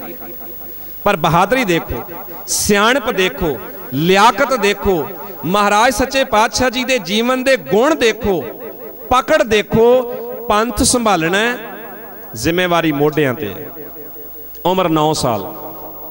ਕੀ ਅੱਜ ਅਸੀਂ ਆਪਣੇ 15 20 ਸਾਲ ਦੇ ਬੱਚੇ ਨੂੰ ਜ਼ਿੰਮੇਵਾਰੀ ਦੇਵਾਂਗੇ? ਦੇਵਾਂਗੇ ਜੀ। ਦੂਜੇ ਪਾਸੇ, ਸਹਿਬਜ਼ਾਦਾ ਗੋਬਿੰਦ ਰਾਏ ਸਤਿਗੁਰੂ ਗੁਰੂ ਗੋਬਿੰਦ ਸਿੰਘ ਮਹਾਰਾਜ, ਦਸਵੇਂ ਸਤਿਗੁਰੂ, ਜਿਨ੍ਹਾਂ ਦਾ ਪ੍ਰਕਾਸ਼ ਪੁਰਬ ਮਨਾ ਰਹੇ ਆ ਜੀਵਨ ਦੇਖੋ ਕਿਸ ਤਰ੍ਹਾਂ ਦਾ ਹੈ। ਮੈਂ ਇੱਕ ਬੇਨਤੀ ਕਰਨੀ ਚਾਹੁੰਦਾ ਹੋਰ, ਅੰਦਾਜ਼ਾ ਲਾਓ, ਮਾਤਾ ਗੁਜਰੀ ਜੀ, ਗੁਰੂ ਤੇਗ ਬਹਾਦਰ ਸਾਹਿਬ ਨੇ ਸਹਿਬਜ਼ਾਦਾ ਗੋਬਿੰਦ ਰਾਏ ਦੀ ਪਾਲਣਾ ਪੋਸ਼ਣਾ ਕਿਵੇਂ ਕੀਤੀ ਹੋਏਗੀ? ਇਹਦਾ ਮਤਲਬ ਭਵਿੱਖ ਸਾਹਮਣੇ ਹੈ। ਆਉਣ ਵਾਲੇ ਸਮੇਂ ਅੰਦਰ ਹਾਲਾਤ ਕੋਈ ਵੀ ਬਣ ਸਕਦੇ ਆ। ਰਾਜਨੀਤਿਕ ਹਾਲਾਤ ਕੋਈ ਵੀ ਕਰਵਟ ਲੈ ਸਕਦੇ ਆ। ਕਿਵੇਂ ਦੇ ਵੀ ਹਾਲਾਤ ਹੋਣ, ਅਸੀਂ ਆਪਣੇ ਪੁੱਤਰ ਨੂੰ ਇਹਨਾਂ ਹਾਲਾਤਾਂ ਨਾਲ ਟੱਕਰ ਲੈਣ ਦੇ ਯੋਗ ਬਣਾਉਣਾ ਹੈ। ਗੁਰਬਾਣੀ ਦਾ ਗਿਆਨ, ਇਤਿਹਾਸ ਦਾ ਗਿਆਨ। 9 ਸਾਲ ਦੀ ਉਮਰ ਤੱਕ ਦੇਖੋ ਟ੍ਰੇਨਿੰਗ ਕਿੰਨੀ ਹੋਏਗੀ। ਮਹਾਰਾਜ ਸੱਚੇ ਪਾਤਸ਼ਾਹ ਜੀ ਦੀ ਪੜ੍ਹਾਈ, ਸਿਖਲਾਈ ਮਹਾਰਾਜ ਦਾ ਸ਼ਸਤਰ ਵਿਦਿਆ ਦਾ ਜਿਹੜਾ ਕਾਰਨਾਮਾ ਹੈ, ਧਿਆਨ ਨਾਲ ਵੇਖੋ ਕਿੰਨਾ ਕੁਝ ਹੈ ਮਹਾਰਾਜ ਦੀ ਜ਼ਿੰਦਗੀ ਅੰਦਰ। ਸੱਚੇ ਪਾਤਸ਼ਾਹ ਜੀ ਦੀ ਸਾਰੀ ਉਮਰ ਲਗਭਗ 43 ਕੋ ਸਾਲ ਬਣਦੀ ਹੈ। ਸਾਰੀ ਉਮਰ ਲਗਭਗ 43 ਕੋ ਸਾਲ। ਤੇ 43 ਕੋ ਸਾਲਾਂ ਦੇ ਵਿੱਚ ਦਾ ਇਤਿਹਾਸ ਜਿਹੜਾ ਹੈ, ਜੇ ਉਹਨੂੰ ਥੋੜਾ ਜਿਹਾ ਇਮਾਨਦਾਰੀ ਨਾਲ ਵਾਚਣਾ ਸ਼ੁਰੂ ਕਰੋ, ਮਨੁੱਖ ਨੂੰ ਵੈਸੇ ਹੀ ਉਹਦੀ ਸੁੱਧ ਬੁੱਧ ਜਿਹੜੀ ਆ, ਉਹ ਜਵਾਬ ਦੇਣੀ ਸ਼ੁਰੂ ਕਰ ਦਿੰਦੀ ਵੀ 43 ਸਾਲ ਦੀ ਉਮਰ। ਤੇ 43 ਸਾਲ ਦੀ ਉਮਰ ਵਿੱਚ ਕਾਰਨਾਮੇ, ਕੁਰਬਾਨੀਆਂ, ਸੇਧਾਂ, ਬੱਲੇ ਬੱਲੇ ਬੱਲੇ। ਇਹ ਕਿਹਦੇ ਹਿੱਸੇ ਆ ਸਕਦਾ? ਅੱਜ ਪ੍ਰਕਾਸ਼ ਪੁਰਬ ਮਨਾਉਣ ਆਇਓ। ਜਰਾ ਕਿ ਧਿਆਨ ਨਾਲ ਵੇਖਿਓ। ਮੈਂ ਪਰਸੋਂ ਵੀ ਬੇਨਤੀ ਕੀਤੀ ਸੀ ਭਈ ਕੇਵਲ ਗੁਰਪੁਰਬ ਖਾ ਪੀ ਕੇ ਨਾ ਮਨਾਇਓ। ਕਿਉਂਕਿ ਸਾਡਾ ਸਿੱਖਾਂ ਦਾ ਹੁਣ ਆਦਤ ਇਦਾਂ ਦੀ ਸੁਭਾਅ ਬਣ ਗਿਆ। ਐਵੇਂ ਜਕਾਰੇ ਲਾ ਲਾ ਕੇ, ਪਤਾ ਨਹੀਂ ਅਸੀਂ ਕਿਹੜੀ ਜੰਗ ਜਿੱਤਣੀ ਹੈ, ਇੱਥੇ ਬੈਠੇ ਅਸੀਂ ਬਾਣੀ ਸੁਣ ਰਹੇ ਹਾਂ, ਇਤਿਹਾਸ ਸੁਣ ਰਹੇ ਹਾਂ। ਜਿਉਂ ਜਕਾਰਿਆਂ ਦਾ, ਜਕਾਰੇ ਤੇ ਜਕਾਰ, ਛੱਡਦੇ ਹੀ ਨਹੀਂ ਅਸੀਂ। ਜਕਾਰਾ ਕਿਸੇ ਟਾਈਮ ਤੇ ਹੋਣਾ ਚਾਹੀਦਾ ਹੈ, ਜੋ ਹੋਣਾ ਚਾਹੀਦਾ ਸਾਨੂੰ ਐ ਲੱਗਦਾ ਵੀ ਜਕਾਰੇ ਛੱਡ ਛੱਡ ਅਸੀਂ ਗੁਰਪੁਰਬ ਮਨਾਉਣਾ ਜਿੰਨੇ ਵੱਧ ਜਿੰਨਾ ਉੱਚੀ ਛੱਡੋ, ਉਹਨਾਂ ਜਕਾ ਜਕਾਰੇ ਦਾ ਆਪਣਾ ਮਹੱਤਵ ਹੈ। ਜੈਕਾਰੇ ਇੰਨੇ ਸਸਤੇ ਨਹੀਂ ਸਾਨੂੰ ਕਰਨੇ ਚਾਹੀਦੇ। ਇੰਨੇ ਸਸਤੇ ਨਹੀਂ ਕਰਨੇ ਚਾਹੀਦੇ। ਜੈਕਾਰੇ ਦਾ ਆਪਣਾ ਮਹੱਤਵ ਹੈ। ਬਹੁਤ ਵੱਡਾ ਮਹੱਤਵ ਹੈ ਇਤਿਹਾਸ 'ਚ। ਔਰ ਜੈਕਾਰੇ ਲਾ ਕੇ ਕੜਾ ਪ੍ਰਸ਼ਾਦ ਖਾ ਕੇ ਲੰਗਰ ਖਾ ਕੇ ਰੌਣਕ ਮੇਲਾ ਕੀਤਾ, ਧੱਕੇ ਮਾਰੇ, ਧੱਕੇ ਖਾਦੇ ਘਰਾਂ ਨੂੰ ਚਲੇ ਗਏ, ਗੁਰਪੁਰਬ ਹੋ ਗਿਆ। ਜੇ ਅਸੀਂ ਗੁਰਪੁਰਬ ਨੀਅਤ ਨਾਲ ਮਨਾਏ ਹੁੰਦੇ, ਜੇ ਮਹਾਰਾਜ ਦੇ ਇਤਿਹਾਸ ਨੂੰ ਇਮਾਨਦਾਰੀ ਨਾਲ ਐਵੇਂ ਬਹਿ ਕੇ ਵਾਚਿਆ ਹੁੰਦਾ, ਸਮਝਿਆ ਹੁੰਦਾ, ਅੱਜ ਸਾਡੇ ਨੌਜਵਾਨ ਨਸ਼ਿਆਂ 'ਚ ਨਾ ਰੁਲਦੇ। ਨਸ਼ਿਆਂ 'ਚ ਨਾ ਰੁਲਦੇ। ਜੇ ਅਸਾਂ ਪੀਰ ਬੁੱਧੂ ਸ਼ਾਹ ਨੂੰ ਇਤਿਹਾਸ ਦੇ ਵਿੱਚ ਜਾ ਕੇ ਨੇੜਿਓਂ ਦੇਖਿਆ ਹੁੰਦਾ ਪੀਰ ਬੁੱਧੂ ਸ਼ਾਹ ਨੂੰ ਸਮਝਿਆ ਹੁੰਦਾ ਤੇ ਅੱਜ ਆ ਜਿਹੜੇ ਨਿੱਕੇ ਨਿੱਕੇ ਲੰਡਰ ਜੇ ਕਬਰਾਂ ਵਾਲੇ ਬਣਾ ਕੇ ਪੀਰ ਸਾਡੇ ਗਲ ਮੜ ਦਿੱਤੇ ਐ, ਕੋਈ ਆ ਸਿਗਰਟਾਂ ਅੜਾ ਕੇ ਪੀਰ ਬਣਿਆ ਤੇ ਕੋਈ ਕੁਛ ਤੇ ਕੋਈ ਕੁਛ, ਇਹ ਪੀਰ ਸਾਡੇ ਗਲ ਪੈਂਦੇ? ਅਖੇ ਜੀ, ਇਹ ਮੁਸਲਮਾਨ ਪੀਰ ਹੈ ਜੇ ਪੀਰਾਂ ਦਾ ਪੀਰ ਵੇਖਣਾ ਹੋਵੇ ਤੇ ਗੁਰੂ ਗ੍ਰੰਥ ਸਾਹਿਬ ਚੋਂ ਬਾਬਾ ਫਰੀਦ ਦੇਖੋ। ਘਟ ਹੈ। ਗੁਰੂ ਨਾਨਕ ਜੀ ਨੇ ਬਰਾਬਰ ਤੇ ਥਾਂ ਦੇ ਲਈ। ਉਸ ਬਾਣੀ ਨੂੰ ਆਪਣੇ ਨਾਲ ਬਰਾਬਰ ਤੇ ਮਾਣ ਦਿੱਤਾ। ਮਹਾਰਾਜ ਆਪਣੀ ਛਾਤੀ ਨਾਲ ਲਾ ਕੇ ਪੰਜਾਬ ਦੀ ਧਰਤੀ ਤੇ ਲੈ ਪੀਰਾਂ ਚੋਂ ਪੀਰ ਦੇਖਣਾ ਹੋਵੇ, ਪੀਰ ਬੁੱਧੂ ਸ਼ਾਹ ਦੇਖਿਓ। ਪੰਗਾਣੀ ਦਾ ਯੁੱਧ, ਪੌਂਟਾ ਸਾਹਿਬ ਦੇ ਨੇੜੇ, ਪੰਗਾਣੀ ਦਾ ਯੁੱਧ। ਔਰ ਪੀਰ ਬੁੱਧੂ ਸ਼ਾਹ ਨੇ ਥੋੜਾ ਜਿਹਾ ਧਿਆਨ ਦਿਓ ਜੀ ਮਾੜਾ ਜਿਹਾ। ਮੈਂ ਇਕਾਗਰਤਾ ਪਹਿਲਾਂ ਵੀ ਕਿਹਾ ਸੀ ਥੋੜੀ ਜਿਹੀ ਕਾਇਮ ਰੱਖੋ। ਪੰਗਾਣੀ ਦਾ ਮੈਦਾਨ, ਪੀਰ ਬੁੱਧੂ ਸ਼ਾਹ ਨੇ ਨਾ ਔਰੰਗਜ਼ੇਬ ਦੇ ਕੱਢੇ ਹੋਏ 500 ਪਠਾਨ ਮਹਾਰਾਜ ਨੂੰ ਸਿਫਾਰਿਸ਼ ਕੀਤੇ। ਮਹਾਰਾਜ, ਇਹ ਵਿਚਾਰੇ ਧੱਕ ਦਿੱਤੇ ਆ ਔਰੰਗਜ਼ੇਬ ਨੇ। ਇਹਨਾਂ ਦਾ ਕੋਈ ਵਾਲੀ ਵਾਰਸ ਨਹੀਂ ਹੈ। ਮਹਾਰਾਜ, ਇਹਨਾਂ ਨੂੰ ਰੱਖ ਲਓ। ਮਹਾਰਾਜ ਆਖਿਆ, ਪੀਰ ਜੀ ਜੇ ਤੁਸੀਂ ਵਿੱਚ ਆ ਕੇ ਕਹਿ ਰਹੇ ਹੋ, ਜਾਮਣੀ ਤੁਹਾਡੀ, ਗਵਾਹੀ ਤੁਹਾਡੀ ਹੈ, ਤੇ ਮੈਨੂੰ ਪੁੱਛਣ ਪੜਤਾਲਣ ਦੀ ਕੀ ਲੋੜ ਹੈ? ਪੀਰ ਜੀ, ਜੋ ਤੁਸੀਂ ਕਹਿੰਦੇ ਹੋ, ਠੀਕ ਹੀ ਹੈ। ਭਰੋਸਾ ਵੇਖੋ ਕਿੰਨਾ ਹੈ। ਮਹਾਰਾਜ ਜੀ, ਪੀਰ ਜੀ ਦੇ ਪਵਿੱਤਰ ਜੀਵਨ ਤੋਂ ਕਿੰਨੇ ਖੁਸ਼ ਨੇ। ਕਹਿੰਦੇ, ਪੀਰ ਜੀ, ਜੇ ਤੁਸੀਂ ਵਿੱਚ ਹੋ, ਤੇ ਹੋਰ ਪਰਖ ਪੜਚੋਲ ਦੀ ਕਾਦੀ ਲੋੜ ਹੈ? ਕੋਈ ਗੱਲ ਨਹੀਂ, ਭੇਜ ਦਿਓ। 500 ਪਠਾਨ ਮਹਾਰਾਜ ਨੇ ਤਨਖਾਹ ਤੇ ਰੱਖ ਲਏ। 500 ਮਹੰਤ 500 ਮਹੰਤ, ਜਿਹੜੇ ਗੁਰੂ ਨਾਨਕ ਜੀ ਦੀ ਵਿਚਾਰਧਾਰਾ ਤੋਂ ਪ੍ਰਭਾਵਿਤ ਕਹਿ ਲਓ ਜਾਂ ਲੰਗਰ ਤੋਂ ਪ੍ਰਭਾਵਿਤ ਕਹਿ ਲਓ 500 ਸਾਧ ਵੀ ਪੌਂਟਾ ਸਾਹਿਬ ਇਕੱਠਾ ਹੋਇਆ ਸੀ। ਇਹਨਾਂ ਨੇ ਇਕੱਠਿਆਂ ਹੋ ਕੇ ਮਹਾਰਾਜ ਨੂੰ ਆਖਿਆ, ਮਹਾਰਾਜ, ਤੁਹਾਡਾ ਲੰਗਰ ਪਾਣੀ ਛਕਦੇ ਆ। ਤੇ ਸਾਨੂੰ ਵਾਈਸ ਹੋਈ ਮਿਲੀ ਹੈ ਵੀ ਪਹਾੜੀ ਰਾਜੇ ਤਿਆਰੀ ਕਰ ਰਹੇ ਆ। ਤੇ ਕੋਈ ਯੁੱਧ ਜੱਦ ਹੋਣਾ? ਮਹਾਰਾਜ ਨੇ ਆਖਿਆ ਵੀ ਸਾਡੀ ਪਹਿਲ ਕੋਈ ਨਹੀਂ। ਗੁਰੂ ਨਾਨਕ ਦਾ ਘਰ ਹਮਲੇ ਨਹੀਂ ਕਰਦਾ। ਸਾਡਾ ਮਿਸ਼ਨ ਜੰਗਾਂ ਕਰਨਾ ਨਹੀਂ ਹੈ, ਖੂਨ ਡੋਲਣਾ ਨਹੀਂ ਹੈ। ਪਰ ਇੱਕ ਗੱਲ ਦਾ ਧਿਆਨ ਰੱਖਿਓ, ਜੇ ਪਹਾੜੀ ਰਾਜਿਆਂ ਨੇ ਹਿੰਮਤ ਕੀਤੀ, ਪਹਾੜੀ ਰਾਜਿਆਂ ਨੇ ਚੜ੍ਹਾਈ ਕੀਤੀ ਤੇ ਮੂੰਹ ਤੋੜਵਾ ਜਵਾਬ ਜ਼ਰੂਰ ਦੇਾਂਗੇ ਪਹਿਲ ਨਹੀਂ ਕਰਨੀ, ਪਰ ਜੇ ਉਹਨਾਂ ਨੇ ਹਮਲਾ ਕੀਤਾ ਤੇ ਜਵਾਬ ਅਸੀਂ ਜ਼ਰੂਰ ਦੇਾਂਗੇ ਮੰਤਾਂ ਨੇ ਆਪਸ ਵਿੱਚ ਸਲਾਹ ਕੀਤੀ, ਓਏ ਮਾਰੇ ਜਾਵਾਂਗੇ। ਮਾਰੇ ਜਾਵਾਂਗੇ। ਸ਼ਾਂਤੀ ਦਾ ਘਰ ਹੈ, ਸੇਵਾਦਾਰਾਂ ਦਾ ਘਰ ਹੈ, ਇਹ ਦੁਖਿਆਰਿਆਂ ਦੀ ਬਾਹ ਫੜਨ ਵਾਲਿਆਂ ਦਾ ਘਰ ਹੈ। ਆ ਦਸਵੇਂ ਪਾਤਸ਼ਾਹ ਪਤਾ ਨਹੀਂ ਕੀ ਗੱਲ ਹੋ ਗਈ, ਜੰਗਾਂ ਜੁੱਦਾਂ ਦੀਆਂ ਗੱਲਾਂ ਕਰ ਲੱਗੇ, ਕਹਿੰਦੇ ਮੂੰਹ ਤੋੜਵਾਂ ਜਵਾਬ ਦੇਾਂਗੇ ਇਹਨੇ ਮਰਵਾ ਦੇਣੇ ਆ। ਮਾਰੇ ਜਾਵਾਂਗੇ। ਆਪਣੇ ਕੋ ਨਹੀਂ ਲੜਿਆ ਜਾਣਾ। ਜੇ ਕਿਸੇ ਦੀ ਬਾਹ ਵੱਡੀ ਗਈ, ਲੱਤ ਵੱਡੀ ਗਈ, ਜਾਵਾਂਗੇ ਕਿਹੜੇ ਪਾਸੇ? ਮੰਤਾਂ ਨੇ ਆਪਸ ਵਿੱਚ ਹੀ ਸਲਾਹ ਕੀਤੀ। ਰਾਤੋਂ ਰਾਤ, ਧਿਆਨ ਨਾਲ ਸੁਣਿਓ, ਰਾਤੋਂ ਰਾਤ 499 ਮਹੰਤ ਰਾਤੋਂ ਰਾਤ ਭੱਜੇ।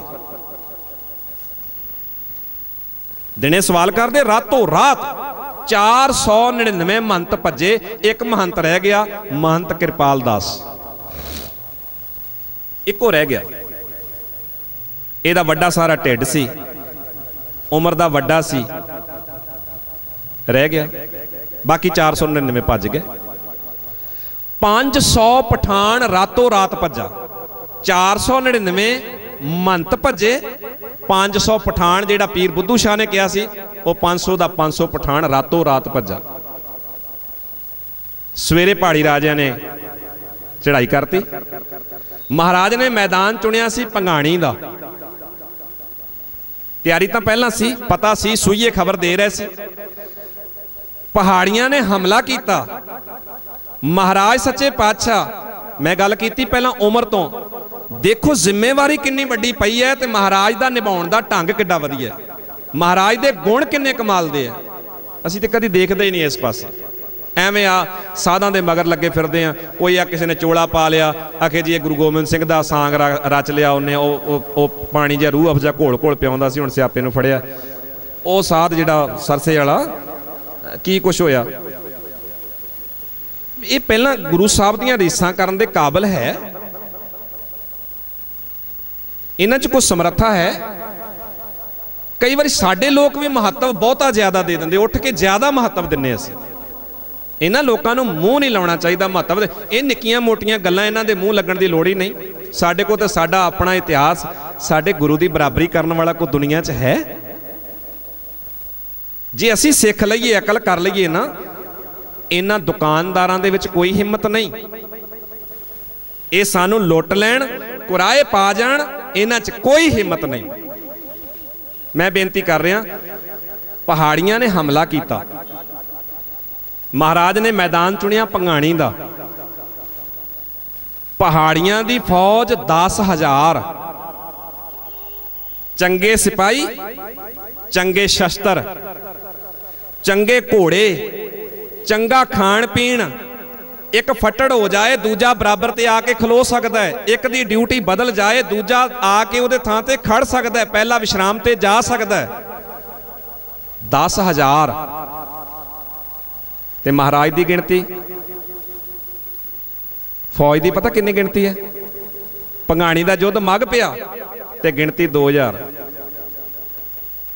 ਇੱਕ ਪਾਸੇ 10000 ਤੋਪਾਂ, ਘੋੜੇ, ਬੰਦੂਕਾਂ, ਚੰਗੇ ਸ਼ਸਤਰ, ਕਿਰਪਾਨਾਂ, ਸਿਪਾਹੀ ਹੱਟੇ ਗੱਟੇ ਤਨਖਾਹਾਂ ਲੈਣ ਵਾਲੇ, ਚੰਗਾ ਖਾਣ ਪੀਣ। ਮਹਾਰਾਜ ਕੋਲ ਜਿਹੜੇ ਆਨੰਦਪੁਰ ਤੋਂ ਪੌਂਟੇ ਤੱਕ ਸਿਰਫ ਇੱਕ ਸੱਦੇ ਤੇ ਗਏ ਐ, ਟੈਂਪਰੇਰੀ ਗਏ ਐ, ਸਦਾ ਲਈ ਨਹੀਂ ਗਏ। ਕੁਝ ਦਿਨ ਜਾਣਾ ਤੇ ਵਾਪਸ ਆ ਜਾਣਾ ਕਿੰਨੇ ਕੁ ਸ਼ਸਤਰ ਖੜੇ ਹੋਣਗੇ ਜੀ? ਮੌਕੇ ਤੇ ਕਿੰਨਾ ਕੁ ਪ੍ਰਬੰਧ ਕੀਤਾ ਗਿਆ ਹੋਏਗਾ? ਪਰ ਹੌਸਲਾ। ਮਹਾਰਾਜਾ, ਮਹਾਰਾਜ ਦਾ ਆਸ਼ੀਰਵਾਦ ਮਹਾਰਾਜ ਸੱਚੇ ਪਾਤਸ਼ਾਹ ਜੀ ਦੀ ਮਗਰੋਂ ਦਿੱਤੀ ਹੋਈ ਪ੍ਰੇਰਣਾ, ਦਿੱਤਾ ਹੋਇਆ ਉਪਦੇਸ਼, ਸਿੱਖੀ ਦਾ ਪਿਆਰ 2000 10000 ਦੇ ਸਾਹਮਣੇ ਡਟ ਗਏ। ਪੜੋ ਇਤਿਹਾਸ ਨੂੰ। 2000 10000 ਦੇ ਸਾਹਮਣੇ ਡਟ ਗਏ। ਪਹਾੜੀ ਰਾਜਿਆਂ ਨੂੰ ਵਕਤ ਪੈ ਗਿਆ। ਸੋਚਿਆ ਹੀ ਨਹੀਂ ਸੀ। ਅਸੀਂ ਅਸੀਂ ਸੋਚਿਆ ਸੀ, ਪੌਂਟੇ ਬੈਠੇ ਐ। ਜਾਂਦਿਆਂ ਅਵੇਸ ਲਈ ਸੁੱਤਿਆਂ ਨੂੰ ਦੱਬ ਲਓ। ਇੰਨੀ ਤਿਆਰੀ, ਇੰਨੇ ਤਕੜੇ, ਇੰਨਾ ਯੁੱਧ ਵਿਦਿਆ ਦਾ ਗਿਆਨ ਹੈ ਇਹਨਾਂ ਨੂੰ। ਹਿੱਲਣ ਨਹੀਂ ਦਿੰਦੇ। ਜਦੋਂ ਭਗਾਣੀ ਦਾ ਯੁੱਧ ਹੋ ਰਿਹਾ ਹੈ ਨਾ, ਇਸ 2000 ਦੇ ਵਿੱਚ ਲਾਲ ਚੰਦ ਹਲਵਾਈ, ਜਿਹੜਾ ਪੌਂਟੇ ਸਿਰਫ ਹਲਵਾਈ ਦੀ ਦੁਕਾਨ ਕਰਦਾ ਸੀ, ਜਦੋਂ ਉਹਨੇ ਵੇਖਿਆ 500 ਪਠਾਨ ਭੱਜ ਗਏ ਮਹਾਰਾਜ ਦੇ, ਜਦੋਂ ਉਹਨੇ ਵੇਖਿਆ 499 ਸਾਧ ਜਿਹੜੇ ਰੋਜ਼ ਲੰਗਰ ਖਾਂਦੇ ਸੀ, ਇਹ ਭੱਜ ਗਏ, ਉਹਨੇ ਕੜਾਈ ਵਿੱਚ ਫੇਰਨ ਵਾਲਾ ਖੁਰਚਣਾ ਚੁੱਕ ਲਿਆ, ਲੰਬਾ ਖੁਰਚਣਾ। ਮਹਾਰਾਜ ਨੇ ਭੱਜੇ ਜਾਂਦੇ ਨੂੰ ਆਖਿਆ, ਲਾਲ ਚੰਦ ਕਿੱਧਰ ਚੱਲਿਆ? ਕਹਿੰਦਾ, ਮਹਾਰਾਜ, ਜਿੰਨੇ ਜੋਗਾ ਆ, ਕਿਸੇ ਦਾ ਸਿਰ ਪਾੜੂੰਗਾ, ਕਿਸੇ ਦੀ ਬਾਹ ਭੰਨੂੰਗਾ, ਮੈਂ ਚੱਲਿਆ। ਧਰਮ ਯੁੱਧ ਚ ਸ਼ਾਮਲ ਹੋਣ ਲੱਗਿਆ। ਲਾਲ ਚੰਦ ਹਲਵਾਈ। ਦੇਖੋ ਮੁਕਾਬਲਾ। ਲਾਲ ਚੰਦ ਹਲਵਾਈ, ਕੋਈ ਜੰਗ ਕੀਤੀ ਹੈ? ਪਰ ਇੱਕ ਪਿਆਰ ਹੈ। ਜੇ ਗੁਰੂ ਕੇ ਦੁਖਿਆਰਿਆਂ ਦੀ ਬਾਹ ਫੜਦੇ ਆ, ਅੱਜ ਲੋੜ ਪਈ ਤੇ ਅਸੀਂ ਪਛਾਣ ਹਟ ਜਾਈਏ। ਲਾਲ ਚੰਦ ਹਲਵਾਈ। ਮੰਤ ਕਿਰਪਾਲ ਦਾਸ। ਇਤਿਹਾਸ ਕਹਿੰਦਾ ਜੰਗ ਦੇ ਮੈਦਾਨ ਵਿੱਚ ਜਾ ਰਿਹਾ ਤੇ ਮੋਟਾ ਇੱਕ ਸੋਟਾ ਇਹਨੇ ਮੋਢੇ ਤੇ ਰੱਖਿਆ ਹੈ। ਕੁਛ ਨਹੀਂ ਹੈਗਾ। ਮੋਟਾ ਇੱਕ ਸੋਟਾ। ਮੰਤ ਕਿਰਪਾਲ ਦਾਸ ਨੇ। ਉਮਰ ਕਰਕੇ ਤੇ ਥੋੜਾ ਜਿਹਾ ਰਹਿਣ ਸਹਿਣ ਇਦਾਂ ਦਾ ਕਰਕੇ ਢਿੱਡ ਵੱਡਾ ਸੀ, ਤੁਰਿਆ ਜਾ ਰਿਹਾ ਇਤਿਹਾਸ ਕਹਿੰਦਾ ਤੁਰਿਆ ਜਾ ਰਿਹਾ ਮਹਾਰਾਜ ਵੇਖ ਕੇ ਹੱਸ ਪਏ। ਮੰਤ ਕਿਰਪਾਲ ਦਾਸ ਕਿਵੇਂ ਦੇਖੋ, ਰਿੜਿਆ ਤੁਰਿਆ ਜਾ ਰਿਹਾ ਡੰਡਾ ਵੱਡਾ ਮੋਟਾ ਹੱਥ ਰੱਖਿਆ ਮੋਢੇ ਤੇ। ਸਾਹਮਣੇ ਹਿਆਤ ਖਾਂ ਹੱਸ ਪਿਆ। ਹਿਆਤ ਖਾਂ ਹੱਸਿਆ। ਪਹਾੜੀ ਰਾਜਿਆਂ ਵਾਲੇ ਪਾਸਿਓਂ ਹਿਆਤ ਖਾਂ ਹੱਸਿਆ। ਉਹ ਲੈ, ਆ ਇੱਕ ਸਾਧ ਸਾਡਾ ਮੁਕਾਬਲਾ ਕਰਨ ਆ ਰਿਹਾ ਉਹ ਡੰਡੇ ਨਾਲ। ਓਏ ਸਾਦਾ ਤੇਰਾ ਕੰਮ ਹੈ ਕੜਾ ਖਾਣਾ, ਲੰਗਰ ਖਾਣਾ। ਜਾ ਗੁਰੂ ਕੇ ਲੰਗਰ ਵਿੱਚ ਜਾ ਕੇ ਲੰਗਰ ਪਾਣੀ ਛਕ। ਔਰ ਮਹੰਤ ਕਿਰਪਾਲ ਦਾਸ ਨੇ ਕੜਕ ਕੇ ਕਿਹਾ ਸੀ, ਹਯਾਤ ਖਾਂ ਠੀਕ ਹੈ, ਮੇਰੀ ਉਮਰ ਵੱਡੀ ਹੈ। ਠੀਕ ਹੈ, ਮੇਰੇ ਕੋਲ ਸ਼ਸਤਰ ਨਹੀਂ। ਠੀਕ ਹੈ, ਮੈਂ ਕੜਾ ਖਾਣਾ, ਮੈਂ ਲੰਗਰ ਖਾਣਾ। ਪਰ ਜੇ ਹਿੰਮਤ ਹੈ ਨਾ, ਇੱਕ ਵਾਰੀ ਮੇਰੇ ਨਾਲ ਸਿੱਧਾ ਹੋ ਕੇ ਤੇ ਵੇਖ। ਇਹ ਕਿਰਪਾਲ ਦਾਸ ਨੇ ਉਹਨੂੰ ਲਲਕਾਰਿਆ। ਹਯਾਤ ਖਾਨ ਨੇ ਸੋਚਿਆ, ਡੰਡਾ ਲੈ ਕੇ ਆ ਰਿਹਾ ਕਰ ਕੀ ਸਕਦਾ ਇੱਕ ਚੰਗਾ ਚੰਡਿਆ ਹੋਇਆ ਜਰਨੈਲ ਤੇ ਸਾਹਮਣੇ ਇੱਕ ਸਾਧ ਅਨਟ੍ਰੇਨਡ ਜਰਨੈਲ ਤੇ ਆਪਣੇ ਹੰਕਾਰ 'ਚ ਹੀ ਪੌੜੀਆਂ ਚੜ ਗਿਆ ਵੀ ਮੈਂ ਇਹਨੂੰ ਤੇ ਢਾਇਆ ਹੀ ਪਿਆ ਸਾਹ ਤੇ ਵੱਢਿਆ ਹੀ ਪਿਆ। ਪਰ ਮਹੰਤ ਕਿਰਪਾਲ ਦਾਸ ਇਸ ਨੀਤੀ ਨਾਲ ਜਾ ਰਿਹਾ ਵੱਧ ਤੋਂ ਵੱਧ ਜਾਨ ਜਾ ਸਕਦੀ ਹੈ, ਪਰ ਜਾਨ ਚਲੀ ਜਾਏ ਇਹ ਤੋਂ ਪਹਿਲਾਂ ਕੋਸ਼ਿਸ਼ ਕਰਨੀ ਆ ਵੀ ਹਯਾਤ ਖਾਂ ਦਾ ਸਿਰ ਭੰਨਣਾ ਆ। ਗੁਰੂ ਦੀ ਬਖਸ਼ਿਸ਼ ਹੈ। ਉਹ ਹੰਕਾਰ ਨਹੀਂ ਗਾ ਕਰਦਾ। ਹੈ ਹੀ ਕੁਛ ਨਹੀਂ। ਮੈਂ ਤਾਂ ਗੁਰੂ ਵੱਲੋਂ ਜਾ ਰਿਹਾ ਗੁਰੂ ਦੇ ਧਰਮ ਯੁੱਧ 'ਚ ਸ਼ਾਮਲ ਹੈ। ਪਰ ਹਯਾਤ ਖਾਂ ਹੰਕਾਰੀ ਹੈ ਆ ਸਾਧ ਮੇਰਾ ਮੁਕਾਬਲਾ ਕਰੇਗਾ। ਉਹਦੀ ਇੰਨੀ ਤਿਆਰੀ, ਉਹ ਸੋਚਦਾ ਹੀ ਨਹੀਂ ਵੀ ਇਹ ਕਰੇਗਾ ਕੀ। ਆਖਰ ਤਾਂ ਇਹਨੂੰ ਮੈਂ ਵੱਢਣਾ ਹੀ ਹੈ, ਮਰੇਗਾ। ਹਯਾਤ ਖਾਂ ਹੰਕਾਰ ਦਾ ਭਰਿਆ, ਅੱਗੇ ਵਧਿਆ, ਕਿਰਪਾਲ ਦਾਸ ਅੱਗੇ ਵਧਿਆ। ਆਖਰ ਮੌਕਾ ਤਾੜਦਿਆਂ ਹਯਾਤ ਖਾਂ ਦੇ ਵਾਰ ਕਰਨ ਤੋਂ ਪਹਿਲਾਂ ਪਹਿਲਾਂ ਮਹੰਤ ਕਿਰਪਾਲ ਦਾਸ ਨੇ ਟਿਕਾ ਕੇ ਸੋਟਾ ਸਿਰ 'ਚ ਮਾਰਿਆ, ਘੋੜੇ ਤੋਂ ਥੱਲੇ ਸੁੱਟ ਦਿੱਤਾ। ਸਿਰ ਦੋ ਫਾੜ। ਕਿਰਪਾਲ ਦਾਸ ਮਹੰਤ ਨੇ ਹਯਾਤ ਖਾਂ ਥੱਲੇ ਸੁੱਟ ਲਿਆ। ਜਦੋਂ ਮਹੰਤ ਕਿਰਪਾਲ ਦਾਸ ਨੇ ਹਯਾਤ ਖਾਂ ਇੱਕ ਚੰਡਿਆ ਜਰਨੈਲ ਥੱਲੇ ਸੁੱਟਿਆ, ਮਹਾਰਾਜ ਸੱਚੇ ਪਾਤਸ਼ਾਹ ਜੀ ਦੇ ਸਿੱਖਾਂ ਦਾ ਹੌਸਲਾ ਵੱਧ ਗਿਆ। ਜੇ ਇੱਕ ਜਰਨੈਲ ਡਿੱਗਾ, ਬਾਕੀ ਵੀ ਲੈ ਲਓ। ਔਰ ਇੱਥੇ ਹੀ ਦੂਜਾ ਪਾਸਾ ਵੀ ਰਾਤ ਨੂੰ 500 ਪਠਾਣਾਂ ਦੇ ਭੱਜਣ ਦੀ ਖਬਰ ਦਿਨ ਚੜ੍ਹਦੇ ਤੱਕ ਪੀਰ ਬੁੱਧੂ ਸ਼ਾਹ ਤੱਕ ਵੀ ਪਹੁੰਚ ਗਈ। ਪੰਗਾਣੀ ਦੇ ਯੁੱਧ ਦੇ ਆਰੰਭ ਹੋਣ ਵੇਲੇ ਤੱਕ 700 ਆਪਣੇ ਮਰੀਦ, ਭਰਾ ਤੇ ਪੁੱਤਰ ਲੈ ਕੇ ਪੀਰ ਬੁੱਧੂ ਸ਼ਾਹ ਵੀ ਉੱਥੇ ਪਹੁੰਚ ਗਿਆ। ਮੈਂ ਕਿਹਾ ਸੀ, ਮਹਾਰਾਜ, ਰੱਖ ਲਓ। ਮਹਾਰਾਜ ਨੂੰ ਲੋੜ ਪਈ, ਇਹ ਗਦਾਰ ਧੋਖਾ ਦੇ ਕੇ ਭੱਜ ਗਏ। ਇਹ ਦੌੜ ਗਏ। ਮਹਾਰਾਜ ਨੂੰ ਲੋੜ ਹੈ। ਮਹਾਰਾਜ ਸੱਚੇ ਪਾਤਸ਼ਾਹ ਜੀ ਦੇ ਸਰੀਰ ਤੇ ਝਰੀਟ ਨਹੀਂ ਆਉਣੀ ਚਾਹੀਦੀ। ਮੇਰਾ ਭਾਵੇਂ ਸਾਰਾ ਪਰਿਵਾਰ ਕੁਰਬਾਨ ਹੋ ਜਾਏ। ਪੀਰ ਬੁੱਧੂ ਸ਼ਾਹ ਪਹੁੰਚ ਗਿਆ। ਲੜਾਈ ਹੋਈ। 2000 ਦੀ ਇਸ ਗਿਣਤੀ ਨੇ 10000 ਨੂੰ ਭੱਜਣ ਲਈ ਮਜਬੂਰ ਕੀਤਾ। ਪੰਘਾਣੀ ਦਾ ਯੁੱਧ ਮਹਾਰਾਜ ਦੇ ਯੋਧਿਆਂ ਨੇ ਜਿੱਤ ਲਿਆ। ਜਿੱਤਿਆ ਗਿਆ। 10000 ਆਪਣੇ ਸ਼ਸਤਰ, ਆਪਣੇ ਘੋੜੇ, ਰਸਤ ਪਾਣੀ ਛੱਡ ਕੇ ਮੈਦਾਨ ਚੋਂ ਭੱਜ ਗਿਆ। ਹਯਾਤ ਖਾਂ ਮਾਰਿਆ ਗਿਆ, ਕਈ ਹੋਰ ਮਾਰੇ ਗਏ। ਇਸ ਪੰਗਾਣੀ ਦੇ ਯੁੱਧ ਵਿੱਚ ਸਤਿਗੁਰੂ ਗੁਰੂ ਗੋਬਿੰਦ ਸਿੰਘ ਮਹਾਰਾਜ ਦੇ ਭੂਆ ਦੇ ਪੁੱਤ ਅਜੀਤ ਸ਼ਾਹ ਅਜੀਤ ਸ਼ਾਹ, ਸੰਗੋ ਸ਼ਾਹ, ਇਹ ਵੀ ਮਾਰੇ ਗਏ। ਸ਼ਹੀਦ ਹੋਏ। ਪੀਰ ਬੁੱਧੂ ਸ਼ਾਹ ਦੇ ਆਪਣੇ ਦੋ ਪੁੱਤਰ ਮਾ- ਸ਼ਹੀਦ ਹੋਏ। ਭਰਾ ਸ਼ਹੀਦ ਹੋਏ। 700 ਮਰੀਦਾਂ ਵਿੱਚੋਂ ਬਹੁ ਗਿਣਤੀ ਸ਼ਹੀਦ ਹੋਈ। ਔਰ ਸੱਚੇ ਪਾਤਸ਼ਾਹ ਜੀ, ਬੜੇ ਪਿਆਰ ਨਾਲ ਭੰਗਾਣੀ ਦਾ ਯੁੱਧ ਜਿੱਤ ਕੇ ਪੌਂਟੇ ਦੀ ਧਰਤੀ ਤੇ ਵਾਪਸ ਆਪਣੇ ਉਸ ਸਥਾਨ ਤੇ ਆਏ ਜਿੱਥੇ ਮਹਾਰਾਜ ਨੇ ਇਹ ਸਾਰੇ ਸਿੱਖਾਂ ਨੂੰ ਇਕੱਠਿਆਂ ਕੀਤਾ। ਮਹਾਰਾਜ ਰਾਤ ਵਿਸ਼ਰਾਮ ਕੀਤਾ। ਬੜੇ ਖੁਸ਼। ਸਿੱਖਾਂ ਨੇ ਬੜੀਆਂ ਹੌਸਲੇ ਦੀਆਂ ਗੱਲਾਂ। ਮਹਾਰਾਜ ਸੱਚੇ ਪਾਤਸ਼ਾਹ ਜੀ ਨੇ ਬੜੇ ਹੌਸਲੇ ਦੀਆਂ ਗੱਲਾਂ ਸ਼ਾਬਾਸ਼ੇ ਦਿੱਤੀਆਂ। ਦਿਨ ਚੜਿਆ ਪੀਰ ਬੁੱਧੂ ਸ਼ਾਹ ਮਹਾਰਾਜ ਕੋ ਹਾਜ਼ਰ ਹੋਇਆ। ਔਰ ਪੀਰ ਬੁੱਧੂ ਸ਼ਾਹ ਹਾਜ਼ਰ ਹੋ ਕੇ ਕਹਿੰਦਾ, ਮਹਾਰਾਜ, ਜੇ ਆਗਿਆ ਹੋਵੇ, ਮੈਨੂੰ ਛੁੱਟੀਆਂ ਬਖਸ਼ੋ। ਤੁਹਾਡੇ ਘਰ ਦਾ ਸੇਵਾਦਾਰ ਆ ਜੇ ਆਖੋ, ਲੋੜ ਹੈ ਤੇ ਮੈਂ ਰਹਿ ਜਾਣਾ ਜੇ ਤੁਸੀਂ ਆਖੋ ਤੇ ਮੈਂ ਵਾਪਸ ਸੁਧੌਰੇ ਆਪਣੇ ਚਲੇ ਜਾਣਾ ਪਰ ਮੈਂ ਚਾਹੁੰਦਾ ਹੈ ਕਿ ਮੈਂ ਚਲਾ ਜਾਵਾਂ। ਤੁਸੀਂ ਦੱਸੋ, ਮੈਂ ਜਾਵਾਂ ਕਿ ਰਵਾਂ? ਜੇ ਲੋੜ ਪਈ ਸੁਨੇਹਾ ਭੇਜ ਦਿਓ, ਮੈਂ ਤੁਰੰਤ ਤੁਹਾਡੇ ਚਰਨਾਂ 'ਚ ਹਾਜ਼ਰ ਹੋ ਜਾਵਾਂਗਾ। ਮਹਾਰਾਜ ਨੇ ਆਖਿਆ, ਪੀਰ ਬੁੱਧੂ ਸ਼ਾਹ, ਇਹ ਪਹਾੜੀਏ ਹੁਣ ਤਾਂ ਆਉਣ ਨਹੀਂ ਲੱਗੇ ਛੇਤੀ। ਲੋੜ ਹੈ ਨਹੀਂ, ਤੁਸੀਂ ਆਪਣੇ ਸਢੌਰੇ ਵਾਪਸ ਚਲੇ ਜਾਓ। ਮਹਾਰਾਜ, ਜੇ ਤੁਰਠੇ ਹੋ ਤੇ ਪਿਆਰ ਨਾਲ ਮੈਨੂੰ ਵਿਦਾਈ ਦਿਓ, ਮੈਂ ਤੁਹਾਡੇ ਕੋਲੋਂ ਕੋਈ ਨਿਸ਼ਾਨੀ ਬਖਸ਼ਿਸ਼ ਮੰਗਦਾ ਹਾਂ। ਇਤਿਹਾਸ ਕਹਿੰਦਾ ਹੈ ਮਹਾਰਾਜ ਨੇ, ਆਪਣਾ ਕੰਗਾ ਸ੍ਰੀ ਸਾਹਿਬ ਕੁਝ ਕਾਗਜ਼ ਦੇ ਉੱਤੇ ਲਿਖੇ ਹੋਏ ਸ਼ਾਬਾਸ਼ੀ ਦੇ ਅੱਖਰ ਤੇ ਆਪਣੀ ਦਸਤਾਰ ਚੋਂ ਅੱਧਾ ਹਿੱਸਾ ਪਾੜ ਕੇ ਜੋੜ ਕੇ ਪੀਰ ਬੁੱਧੂ ਸ਼ਾਹ ਨੂੰ ਦੇ ਦਿੱਤੀ। ਪੀਰ ਬੁੱਧੂ ਸ਼ਾਹ ਖੁਸ਼ੀ-ਖੁਸ਼ੀ ਇਹ ਸਾਰਾ ਕੁਝ ਲੈ ਕੇ ਆਪਣੇ ਪਿੰਡ ਸਢੌਰੇ ਗਿਆ। ਘਰ ਵਾਲੀ ਸਾਹਮਣੇ ਖੜੀ ਹੈ। ਦੇਖਦੀ ਦੋ ਪੁੱਤਰ ਆਏ, ਦੋ ਨਹੀਂ ਆਏ। ਦੇਰ ਜੇਠ, ਨਾਲ ਜਿੰਨੇ ਗਏ ਉਹ ਆਏ ਨਹੀਂ। ਮੁਰੀਦਾਂ ਦੀ ਗਿਣਤੀ ਵੀ ਬਹੁਤ ਘੱਟ ਹੈ। ਮਾਂ ਸੀ। ਮਨ ਭਾਰ ਆਇਆ। ਮਮਤਾ ਨੇ ਉਛਾਲਾ ਖਾਦਾ ਸਮਝ ਗਈ ਅੱਖਾਂ ਭਰੀਆਂ ਤੇ ਪੀਰ ਬੁੱਧੂ ਸ਼ਾਹ ਝੱਟ ਅੱਗੇ ਵਧਿਆ ਆਖਣ ਲੱਗਾ, ਬੇਗਮ, ਮਨ ਹੌਲਾ ਅੱਖਾਂ 'ਚ ਹੰਝੂ, ਕਿਸ ਗੱਲ ਦੇ? ਆਖਣ ਲੱਗੀ, ਮੇਰੇ ਲਾਲ ਤੁਹਾਡੇ ਨਾਲ ਤੁਰੇ ਸੀ, ਪਰ ਹੁਣ ਦਿਖਾਈ ਨਹੀਂ ਦਿੰਦੇ। ਤੁਹਾਡੇ ਮਰੀਦ, ਤੁਹਾਡੇ ਭਰਾ, ਤੁਹਾਡੇ ਨਾਲ ਦਿਖਾਈ ਨਹੀਂ ਦਿੰਦੇ।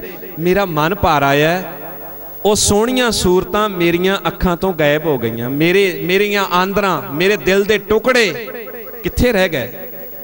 ਪੀਰ ਬੁੱਧੂ ਸ਼ਾਹ ਨੇ ਅੱਗੇ ਵੱਧ ਕੇ ਸ੍ਰੀ ਸਾਹਿਬ ਕੰਗਾ ਮਹਾਰਾਜ ਸੱਚੇ ਪਾਤਸ਼ਾਹ ਜੀ ਵੱਲੋਂ ਬਖਸ਼ਿਸ਼ ਹੋਈਆਂ ਇਹ ਸਾਰੀਆਂ ਚੀਜ਼ਾਂ ਆਖਿਆ, ਨਸੀਰਾਂ ਝੋਲੀ ਕਰ। ਝੋਲੀ ਕੀਤੀ, ਮਹਾਰਾਜ ਦੀਆਂ ਬਖਸ਼ਾਂ ਝੋਲੀ 'ਚ ਪਾਈਆਂ, ਝੋਲੀ 'ਚ ਪੈਂਦਿਆਂ ਆਖਣ ਲੱਗੀ, ਇਹ ਕੀ? ਇਹ ਦਸਤਾਰ ਸ੍ਰੀ ਸਾਹਿਬ ਇਹ ਕੀ ਹੈ? ਆਖਣ ਲੱਗਾ ਮਹਾਰਾਜ ਨੇ ਤੁਰਦਿਆਂ ਹੋਇਆਂ ਗੁਰੂ ਘਰ ਵੱਲੋਂ ਬਖਸ਼ਿਸ਼ਾਂ ਦਿੱਤੀਆਂ ਨੇ। ਮਹਾਰਾਜ ਨੇ ਨਿਵਾਜਿਆ ਹੈ। ਮਹਾਰਾਜ ਨੇ ਸ਼ਾਬਾਸ਼ੀ ਦਿੱਤੀ ਹੈ। ਨਸੀਰਾਂ ਤੇਰੇ ਦੋ ਪੁੱਤਰ ਸ਼ਹੀਦ ਹੋਏ ਨੇ, ਮੇਰੇ ਭਰਾ ਵੀ ਸ਼ਹੀਦ ਹੋਏ ਨੇ। ਮਹਾਰਾਜ ਦੇ ਹੋਰ ਕਈ ਸੈਂਕੜੇ ਉੱਥੇ ਗੁਰਸਿੱਖ ਜਿਹੜੇ ਆ, ਉਹ ਸ਼ਹੀਦ ਹੋਏ ਆ। ਮਹਾਰਾਜ ਨੇ ਤੁਰਦਿਆਂ ਸ਼ਾਬਾਸ਼ੀ ਦਿੱਤੀ ਹੈ। ਆ ਕੰਗਾ ਦੇਖ, ਦਸਤਾਰ ਦੇਖ। ਔਰ ਉੱਥੇ ਇੱਕ ਕਵੀ ਨੇ ਪੀਰ ਬੁੱਧੂ ਸ਼ਾਹ ਦੇ ਆਪਣੀ ਪਤਨੀ ਨੂੰ ਮਿਲਣ ਵਕਤ ਦੇ ਦ੍ਰਿਸ਼ ਨੂੰ ਚਿਤਰਿਆ, ਬੜੀਆਂ ਖੂਬਸੂਰਤ ਲਾਈਨਾਂ ਉਹ ਕਵੀ ਨੇ ਬਣਾਈਆਂ। ਆਖਣ ਲੱਗਾ, ਬੇਗਮ ਬੇਗਮ, ਮੇਰੇ ਕਰਮ ਇਤਨਾ ਜ਼ੋਰ ਕਰ ਗਏ ਕਿ ਗੋਬਿੰਦ ਸਿੰਘ ਮੇਰਾ ਯਾਰ ਬਣ ਗਿਆ। ਆ ਦੇਖ ਮੈਨੂੰ ਉਹਨੇ ਪੱਗ ਦਿੱਤੀ ਹੈ। ਇਹ ਮੇਰਾ ਪੱਗ ਵੱਟ ਭਰਾ ਬਣ ਗਿਆ। ਮੇਰੇ ਦੋ ਪੁੱਤਰ ਸ਼ਹੀਦ ਹੋਏ। ਜੇ ਗੁਰੂ ਗੋਬਿੰਦ ਸਿੰਘ ਮੇਰਾ ਯਾਰ ਬਣ ਗਿਆ ਮੈਂ ਘਾਟਾ ਨਹੀਂ।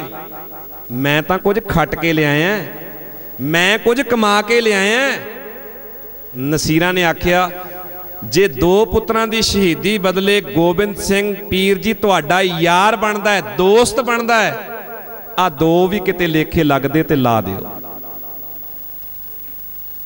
ਇਹ ਮਾਂ ਦਾ ਹੌਸਲਾ ਸੀ। ਥੋੜਾ ਜਿਹਾ ਧਿਆਨ ਨਾਲ ਦੇਖਿਓ। ਸਾਡੇ ਕੋਲੋਂ ਪੀਰ ਬੁੱਧੂ ਸ਼ਾਹ ਖੋਇਆ ਜਾ ਰਿਹਾ ਸਾਨੂੰ ਯਾਦ ਨਹੀਂ ਹੈ। ਪੀਰ ਬੁੱਧੂ ਸ਼ਾਹ ਵਰਗੀਆਂ ਪਵਿੱਤਰ ਰੂਹਾਂ ਦੀਆਂ ਕਬਰਾਂ ਦੀ ਪੂਜਾ ਵੀ ਨਹੀਂ ਹੁੰਦੀ, ਹੋਣੀ ਵੀ ਨਹੀਂ ਚਾਹੀਦੀ। ਇਸਲਾਮ ਮਨਾ ਕਰਦਾ ਹੈ। ਇਸਲਾਮ ਵਿੱਚ ਕਬਰ ਪੂਜਾ ਨਹੀਂ ਹੈ। ਇਸਲਾਮ ਵਿੱਚ ਕਬਰ ਪੂਜਾ ਦੀ ਮਨਾਹੀ ਹੈ। ਨਹੀਂ ਤਾਂ ਇੱਥੇ ਲੁਧਿਆਣੇ ਵਿੱਚ ਹੀ ਵੱਡੀ ਮਸਜਿਦ ਹੈਗੀ, ਉੱਥੇ ਜਾ ਕੇ ਪੁੱਛ ਆਇਓ। ਕਾਜ਼ੀ ਨੂੰ, ਮੁਲਾਣੇ ਨੂੰ ਆਪ ਪੁੱਛਿਓ। ਇਸਲਾਮ ਵਿੱਚ ਕਬਰ ਪੂਜਾ ਦੀ ਮਨਾਹੀ ਹੈ। ਸਾਡੇ ਕੋਲੋਂ ਭਾਈ ਮਰਦਾਨੇ ਵਾਲੀ ਵਿਰਾਸਤ ਖੋਈ ਜਾ ਰਹੀ ਹੈ। ਸਾਡੇ ਕੋਲੋਂ ਬਾਬਾ ਫਰੀਦ ਜੀ ਦੇ ਸ਼ਲੋਕ ਭੁਲਾਏ ਜਾ ਰਹੇ ਹੈ। ਅੱਜ ਸਾਡੇ ਤੇ ਸ਼ਰਾਬੀ, ਨਸ਼ਈ ਸਿਗਰਟਾਂ ਪੀਣੇ ਤੇ ਗੰਦੇ ਗੰਦੇ ਗਾਣਿਆਂ ਤੇ ਖੁਸ਼ ਹੋਣ ਵਾਲੇ ਆ ਕਬਰਾਂ ਦੇ ਪੁਜਾਰੀ ਪੀਰ ਲੱਦੇ ਜਾ ਰਹੇ ਕੀ ਇਹ ਕਬਰਾਂ ਵਾਲੇ ਪੀਰ? ਖੋਰੇ ਹੋਏ ਵੀ ਕਿ ਨਹੀਂ ਹੋਏ? ਖੋਰੇ ਜੰਮੇ ਵੀ ਹੈ ਕਿ ਨਹੀਂ? ਇਹਨਾਂ ਨੇ ਕੀਤਾ ਵੀ ਕੁਝ ਨਹੀਂ। ਐਵੇਂ ਕੋਈ ਬੋੜ ਸ਼ਾਹ ਕੋਈ ਲੱਕੜ ਸ਼ਾਹ ਆਪੇ ਹੀ ਨਾ ਧਰ ਲਏ ਆ। ਨਾ ਕੋਈ ਮਰਿਆ, ਨਾ ਕੋਈ ਜੰਮਿਆ। ਬਹੁਤੀਆਂ ਕਬਰਾਂ ਐਵੇਂ ਹੋਂਦ ਵਿੱਚ ਆਈਆਂ। ਇਹਨਾਂ ਕਬਰਾਂ ਤੇ ਲੱਗਣ ਵਾਲੇ ਮੇਲੇ ਚੜ੍ਹਦੀਆਂ ਸ਼ਰਾਬਾਂ, ਜੋ ਕੁਝ ਹੋ ਰਿਹਾ ਤੁਹਾਨੂੰ ਪਤਾ ਹੀ ਹੈ, ਜਿਹੜੇ ਇਹਨਾਂ ਦੇ ਮੁਖੀ ਬਣੇ ਆ, ਉਹਨਾਂ ਦੇ ਹੱਥਾਂ ਵਿੱਚ ਸਿਗਰਟਾਂ ਦੇਖ ਰਹੇ ਹੋ ਨਾ ਸਭ ਕੁਝ ਸਾਡੇ ਵੱਡੇ ਵੱਡੇ ਗਾਇਕ ਉੱਥੇ ਜਾ ਜਾ ਕੇ ਭੰਗੜੇ ਪਾਉਂਦੇ ਤੇ ਕਈ ਕੁਝ ਪੈਸਿਆਂ ਦੇ ਬਦਲੇ ਸਭ ਕੁਝ ਹੋ ਰਿਹਾ। ਖੈਰ, ਮੈਂ ਬੇਨਤੀ ਕਰਨ ਲੱਗਾ, ਆਪਾਂ ਸਾਰੇ ਗ੍ਰਸਤੀ ਬੈਠੇ ਆ। ਘਰ 'ਚ ਟੀਵੀ ਦੇ ਉੱਤੇ ਬਹੁਤ ਗੰਦੇ ਗਾਣੇ ਲਾ ਕੇ ਸਪੈਸ਼ਲ ਸੀਡੀ ਲਾ ਕੇ ਪਿਓ ਸੁਣ ਰਿਹਾ ਹੋਵੇ। ਘਰ ਦੇ ਬਰਦਾਸ਼ਤ ਕਰਨਗੇ? ਆਖਰ ਮਾਂ ਕਹੇਗੀ ਨਾ ਵੀ ਆਹ ਕੀ ਗੰਦ ਖਿਲਾਰਦਾ ਘਰ 'ਚ ਮੁਖੀਆ ਸ਼ਰਾਬੀ ਹੋਵੇ, ਬਰਦਾਸ਼ਤ ਨਹੀਂ ਨਾ ਹੁੰਦਾ। ਘਰ ਦਾ ਮੁਖੀ, ਪਤੀ, ਬਜ਼ੁਰਗ ਘਰ 'ਚ ਸ਼ਰਾਬੀ ਹੋਵੇ, ਨਹੀਂ ਨਾ ਚੰਗਾ ਲੱਗਦਾ। ਵੀ ਤੂੰ ਘਰ ਦਾ ਮੁਖੀ ਹੈ ਤੂੰ ਇਹ ਕੁਝ ਕਰੇਗਾ, ਤੂੰ ਇਦਾਂ ਦਾ ਗੰਦ ਖਿਲਾਰੇਗਾ ਤੇ ਨਿਆਣਿਆਂ ਨੂੰ ਸੇਧ ਕੌਣ ਦਊ? ਘਰ ਦਾ ਗੁਜ਼ਾਰਾ ਕਿਵੇਂ ਚੱਲੂ? ਤੂੰ ਤਾਂ ਇੱਜ਼ਤ ਮਿੱਟੀ 'ਚ ਮਿਲਾਈ ਜਾਂਦਾ ਘਰੇ ਨੂੰਹਾਂ, ਧੀਆਂ ਤੂੰ ਆ ਕੀ ਕਰਦਾ? ਕੁੜਮਾਚਾਰੀ ਦਾ ਮਸਲਾ। ਨਹੀਂ ਬਰਦਾਸ਼ਤ ਹੁੰਦਾ। ਚੰਗੇ ਲੋਕ, ਅਣਖੀ ਲੋਕ, ਇੱਜ਼ਤੀ ਲੋਕ ਇਹੋ ਜਿਹੇ ਗੰਦੇ ਕੰਮਾਂ ਤੇ ਵਿਸ਼ਵਾਸ ਨਹੀਂ ਰੱਖਦੇ। ਪੀਰ, ਭਾਈ ਗੁਰਦਾਸ ਜੀ ਨੂੰ ਪੁੱਛੋਗੇ? ਤੇ ਭਾਈ ਗੁਰਦਾਸ ਜੀ ਨੇ ਤੇ ਇਸ ਪੀਰ ਸ਼ਬਦ ਦਾ ਰਤਬਾ ਹੀ ਬੜਾ ਉੱਚਾ ਰੱਖਿਆ। ਜ਼ਾਹਰ ਪੀਰ ਜਗਤ ਗੁਰ ਬਾਬਾ। ਪੀਰ ਸ਼ਬਦ ਗੁਰੂ ਨਾਨਕ ਲਈ ਵਰਤ ਲੈਂਦੇ ਹੋ। ਇਹਦਾ ਮਤਲਬ ਪੀਰ ਸ਼ਬਦ ਦਾ ਦਰਜਾ ਉੱਚਾ ਹੈ। ਪੀਰ ਸ਼ਬਦ ਦਾ ਅਰਥ ਹੈ ਗੁਰੂ। ਪਰ ਜਿਹੜਾ ਪੀਰ, ਮੈਂ ਸ਼ਬਦ ਵਰਤਣ ਲੱਗਾ ਜੀ, ਮੈਨੂੰ ਪਤਾ ਇੱਥੇ ਨਹੀਂ ਵਰਤਣਾ ਚਾਹੀਦਾ ਪਰ ਵਰਤਣ ਲੱਗਾ। ਜਿਹੜਾ ਪੀਰ ਕੰਜਰੀਆਂ ਦੇ ਮੁਜਰੇ ਵੇਖ ਕੇ ਖੁਸ਼ ਹੁੰਦਾ ਉਹ ਪੀਰ ਕਾਹਦਾ ਹੈ? ਇਹ ਧਰਮੀ ਹੈ। ਜਿਹੜਾ ਪੀਰ ਇਹ ਚਾਹੁੰਦਾ ਹੈ ਵੀ ਇੱਥੇ ਗੰਦੇ ਗੰਦੇ ਨਾਚ, ਅੱਧ ਅੱਧ ਕੱਪੜੇ ਪਾ ਕੇ ਇਦਾਂ ਨੱਚੇ ਜਾਣ ਇਦਾਂ ਗੀਤ ਗਾਏ, ਕੀ ਉਹ ਪੀਰ ਹੈ? ਜਿਹਦੀ ਕਬਰ ਤੇ ਸ਼ਰਾਬ ਚੜਦੀ ਉਹ ਪੀਰ ਹੈ? ਸ਼ਰਾਬੀ ਨੂੰ ਧਰਮੀ ਮੰਨੋਗੇ ਤੁਸੀਂ? ਸਾਡੇ ਸਿਰ ਮੜਿਆ ਕੀ ਜਾ ਰਿਹਾ? ਹੈ ਉਤੋਂ ਆ ਸਾਡੇ ਜਿਹੜੇ ਪੰਜਾਬ ਦਾ ਕਿ ਮਾਣ ਆ ਆ ਹੁਣ ਨਵਾਂ ਵਿਵਾਦ ਸ਼ੁਰੂ ਕੀਤਾ ਉਹਨੇ। ਪੰਜਾਬ ਦਾ ਮਾਣ, ਆਪਣਾ ਪੰਜਾਬ ਹੋਵੇ, ਘਰ ਦੀ ਸ਼ਰਾਬ ਹੋਵੇ, ਦੁਰ ਫਿੱਟੇ ਮੂੰਹ ਤੁਹਾਡੇ ਇਹੋ ਜਿਹੇ ਸੱਭਿਆਚਾਰ ਦਾ। ਇਹ ਸੱਭਿਆਚਾਰ, ਇਹ ਆਪਣਾ ਪੰਜਾਬ ਤੇ ਘਰ ਦੀ ਸ਼ਰਾਬ, ਇਹ ਪੰਜਾਬ ਦਾ ਸੱਭਿਆਚਾਰ ਹੈ। ਇਹ ਪੰਜਾਬ ਦੀ ਤਸਵੀਰ ਤੁਸੀਂ ਲੋਕਾਂ ਨੂੰ ਵਿਖਾ ਰਹੇ ਹੋ। ਇਹ ਪੰਜਾਬ ਦੀ ਤਸਵੀਰ ਨਹੀਂ। ਪੰਜਾਬ ਦੀ ਤਸਵੀਰ ਵੇਖਣੀ ਹੋਵੇ, ਜੋਧਿਆਂ, ਸੂਰਬੀਰਾਂ ਦੇ ਇਤਿਹਾਸ ਨੂੰ ਦੇਖੋ। ਹੁਣੇ ਹੁਣੇ ਲੰਘਿਆ ਸ਼ਹੀਦੀ ਦਿਹਾੜਾ, ਫਤਿਹਗੜ੍ਹ ਤੇ ਚਮਕੌਰ ਨੂੰ ਦੇਖੋ ਪੰਜਾਬ ਦੀ ਤਸਵੀਰ ਦੇਖਣੀ ਆ ਪੰਜਾਬ ਦੀ ਤਸਵੀਰ ਸਰਦਾਰ ਜੱਸਾ ਸਿੰਘ ਆਲੂਵਾਲੀਆ ਪੰਜਾਬ ਦੀ ਤਸਵੀਰ, ਹਰੀ ਸਿੰਘ ਨਲੂਆ, ਸਰਦਾਰ ਸ਼ਾਮ ਸਿੰਘ ਅਟਾਰੀ, ਭਾਈ ਤਾਰੂ ਸਿੰਘ, ਬਾਬਾ ਦੀਪ ਸਿੰਘ, ਇਹਨਾਂ ਪੁਰਖਿਆਂ ਨੂੰ ਕਿਸੇ, ਕਿੱਥੇ ਰੱਖ ਰਹੇ ਹੋ ਤੁਸੀਂ? ਅੱਜ ਸਾਡਾ ਇਤਿਹਾਸ ਖੋ ਕੇ ਆ ਪੰਜਾਬ ਪੇਸ਼ ਕੀਤਾ ਜਾ ਰਿਹਾ। ਇੰਨੇ ਗੰਦੇ ਗਾਣੇ, ਇੰਨੀਆਂ ਗੰਦੀਆਂ ਗੱਲਾਂ ਆ ਮੇਰੀਆਂ ਭੈਣਾਂ ਬੈਠੀਆਂ, ਮੈਂ ਇਹਨਾਂ ਨੂੰ ਵੀ ਬੇਨਤੀ ਕਰਨੀ ਚਾਹੁੰਦਾ। ਪਹਿਲਾਂ ਢਾਡੀ ਵੀਰ ਵੀ ਕਹਿ ਰਹੇ ਸੀ ਨਾ, ਹਰ ਘਰ ਵਿੱਚ ਗਾਣੇ ਵੱਜ ਰਹੇ ਆ, ਹਰ ਘਰ 'ਚ। ਟੀਵੀ ਤੇ ਸੀਡੀ ਤੇ ਮੋਬਾਈਲਾਂ 'ਚ ਭਰੇ ਆ। ਆ ਸਾਡੇ ਨੌਜਵਾਨ ਤਾਂ ਆ ਟੂਟੀਆਂ ਜੀਆਂ ਲਾ ਕੇ ਸੜਕਾਂ ਤੇ ਕਮਲੇ ਹੋਏ ਫਿਰਦੇ ਸਿਰ ਹਿਲਦੇ ਫਿਰਦੇ, ਪੈਰ ਹਿੱਲੀ ਜਾਂਦੇ, ਪਤਾ ਨਹੀਂ ਸ਼ਦਾਈ ਹੋਏ ਇਹਨਾਂ ਨੂੰ ਹੋਇਆ ਕੀ ਹੈ ਤੁਸੀਂ ਬਾਣੀ ਵੀ ਸੁਣ ਸਕਦੇ ਹੋ, ਤੁਸੀਂ ਢਾਡੀ ਵਾਰਾਂ ਵੀ ਸੁਣ ਸਕਦੇ ਹੋ, ਤੁਸੀਂ ਆਪਣੀ ਪਰੰਪਰਾ ਨੂੰ ਆਪੇ ਹੀ ਖੋਰਾ ਲਾਈ ਜਾਂਦੇ ਹੋ। ਮੈਂ ਬੇਨਤੀ ਕਰਨ ਲੱਗਾ ਸਾਂ ਆ ਮੇਰੀਆਂ ਭੈਣਾਂ, ਮਾਵਾਂ, ਮੇਰੀਆਂ ਧੀਆਂ ਬੈਠੀਆਂ ਨੇ। ਤੁਸੀਂ ਕਲਗੀਧਰ ਦਾ ਪ੍ਰਕਾਸ਼ ਪੁਰਬ ਮਨਾਉਣ ਆਇਓ, ਅਣਖ ਇੱਜ਼ਤ ਵਾਲਾ ਵਿਰਸਾ ਹੈ ਤੁਹਾਡਾ। ਕਦੀ ਉਹ ਸਮਾਂ ਕਦੀ ਉਹ ਸਮਾਂ ਜਦੋਂ ਧਾਰਮਿਕ ਮੋਹਰ ਲੱਗ ਕੇ ਰਾਜਨੀਤਿਕ ਤੇ ਧਾਰਮਿਕ ਲੋਕ, ਸਮਾਜਿਕ ਲੋਕ, ਭੈਣੋ, ਮੇਰੀਓ ਮਾਤਾਓ ਤੁਹਾਨੂੰ ਪੈਰ ਦੀ ਜੁੱਤੀ ਤੇ ਸ਼ੂਦਰ ਕਹਿੰਦੇ ਸੀ। ਧਰਮ ਦੀ ਮੋਹਰ ਲਾ ਕੇ। ਜੋਗੀਆਂ ਦੇ ਤਾਨੇ ਸੁਣਾਵਾਂ। ਤੁਹਾਨੂੰ ਜੋਗੀਆਂ ਦੇ ਤਾਨੇ ਸੁਣਾਵਾਂ। ਸੁਣਿਓ। ਜੋਗੀ ਫਲਸਫਾ, ਜੋਗ ਮਤ ਦਾ ਫਲਸਫਾ, ਇਹ ਕਹਿੰਦਾ ਜੇ ਕਿਸੇ ਨੌਜਵਾਨ ਨੇ ਵਿਆਹ ਕਰਾ ਲਿਆ, ਨੌਜਵਾਨ ਨੇ ਵਿਆਹ ਕਰਾ ਲਿਆ ਤੇ ਜੋਗ ਮਤ ਵਿਆਹ ਕਰਾਉਣ ਵਾਲੇ ਨੌਜਵਾਨ ਦੇ ਪ੍ਰਤੀ ਨਜ਼ਰੀਆ ਰੱਖਦਾ ਲੈ ਗਿੱਲੀ ਲੱਕੜ ਨੂੰ ਘੁਣ ਲੱਗ ਗਿਆ।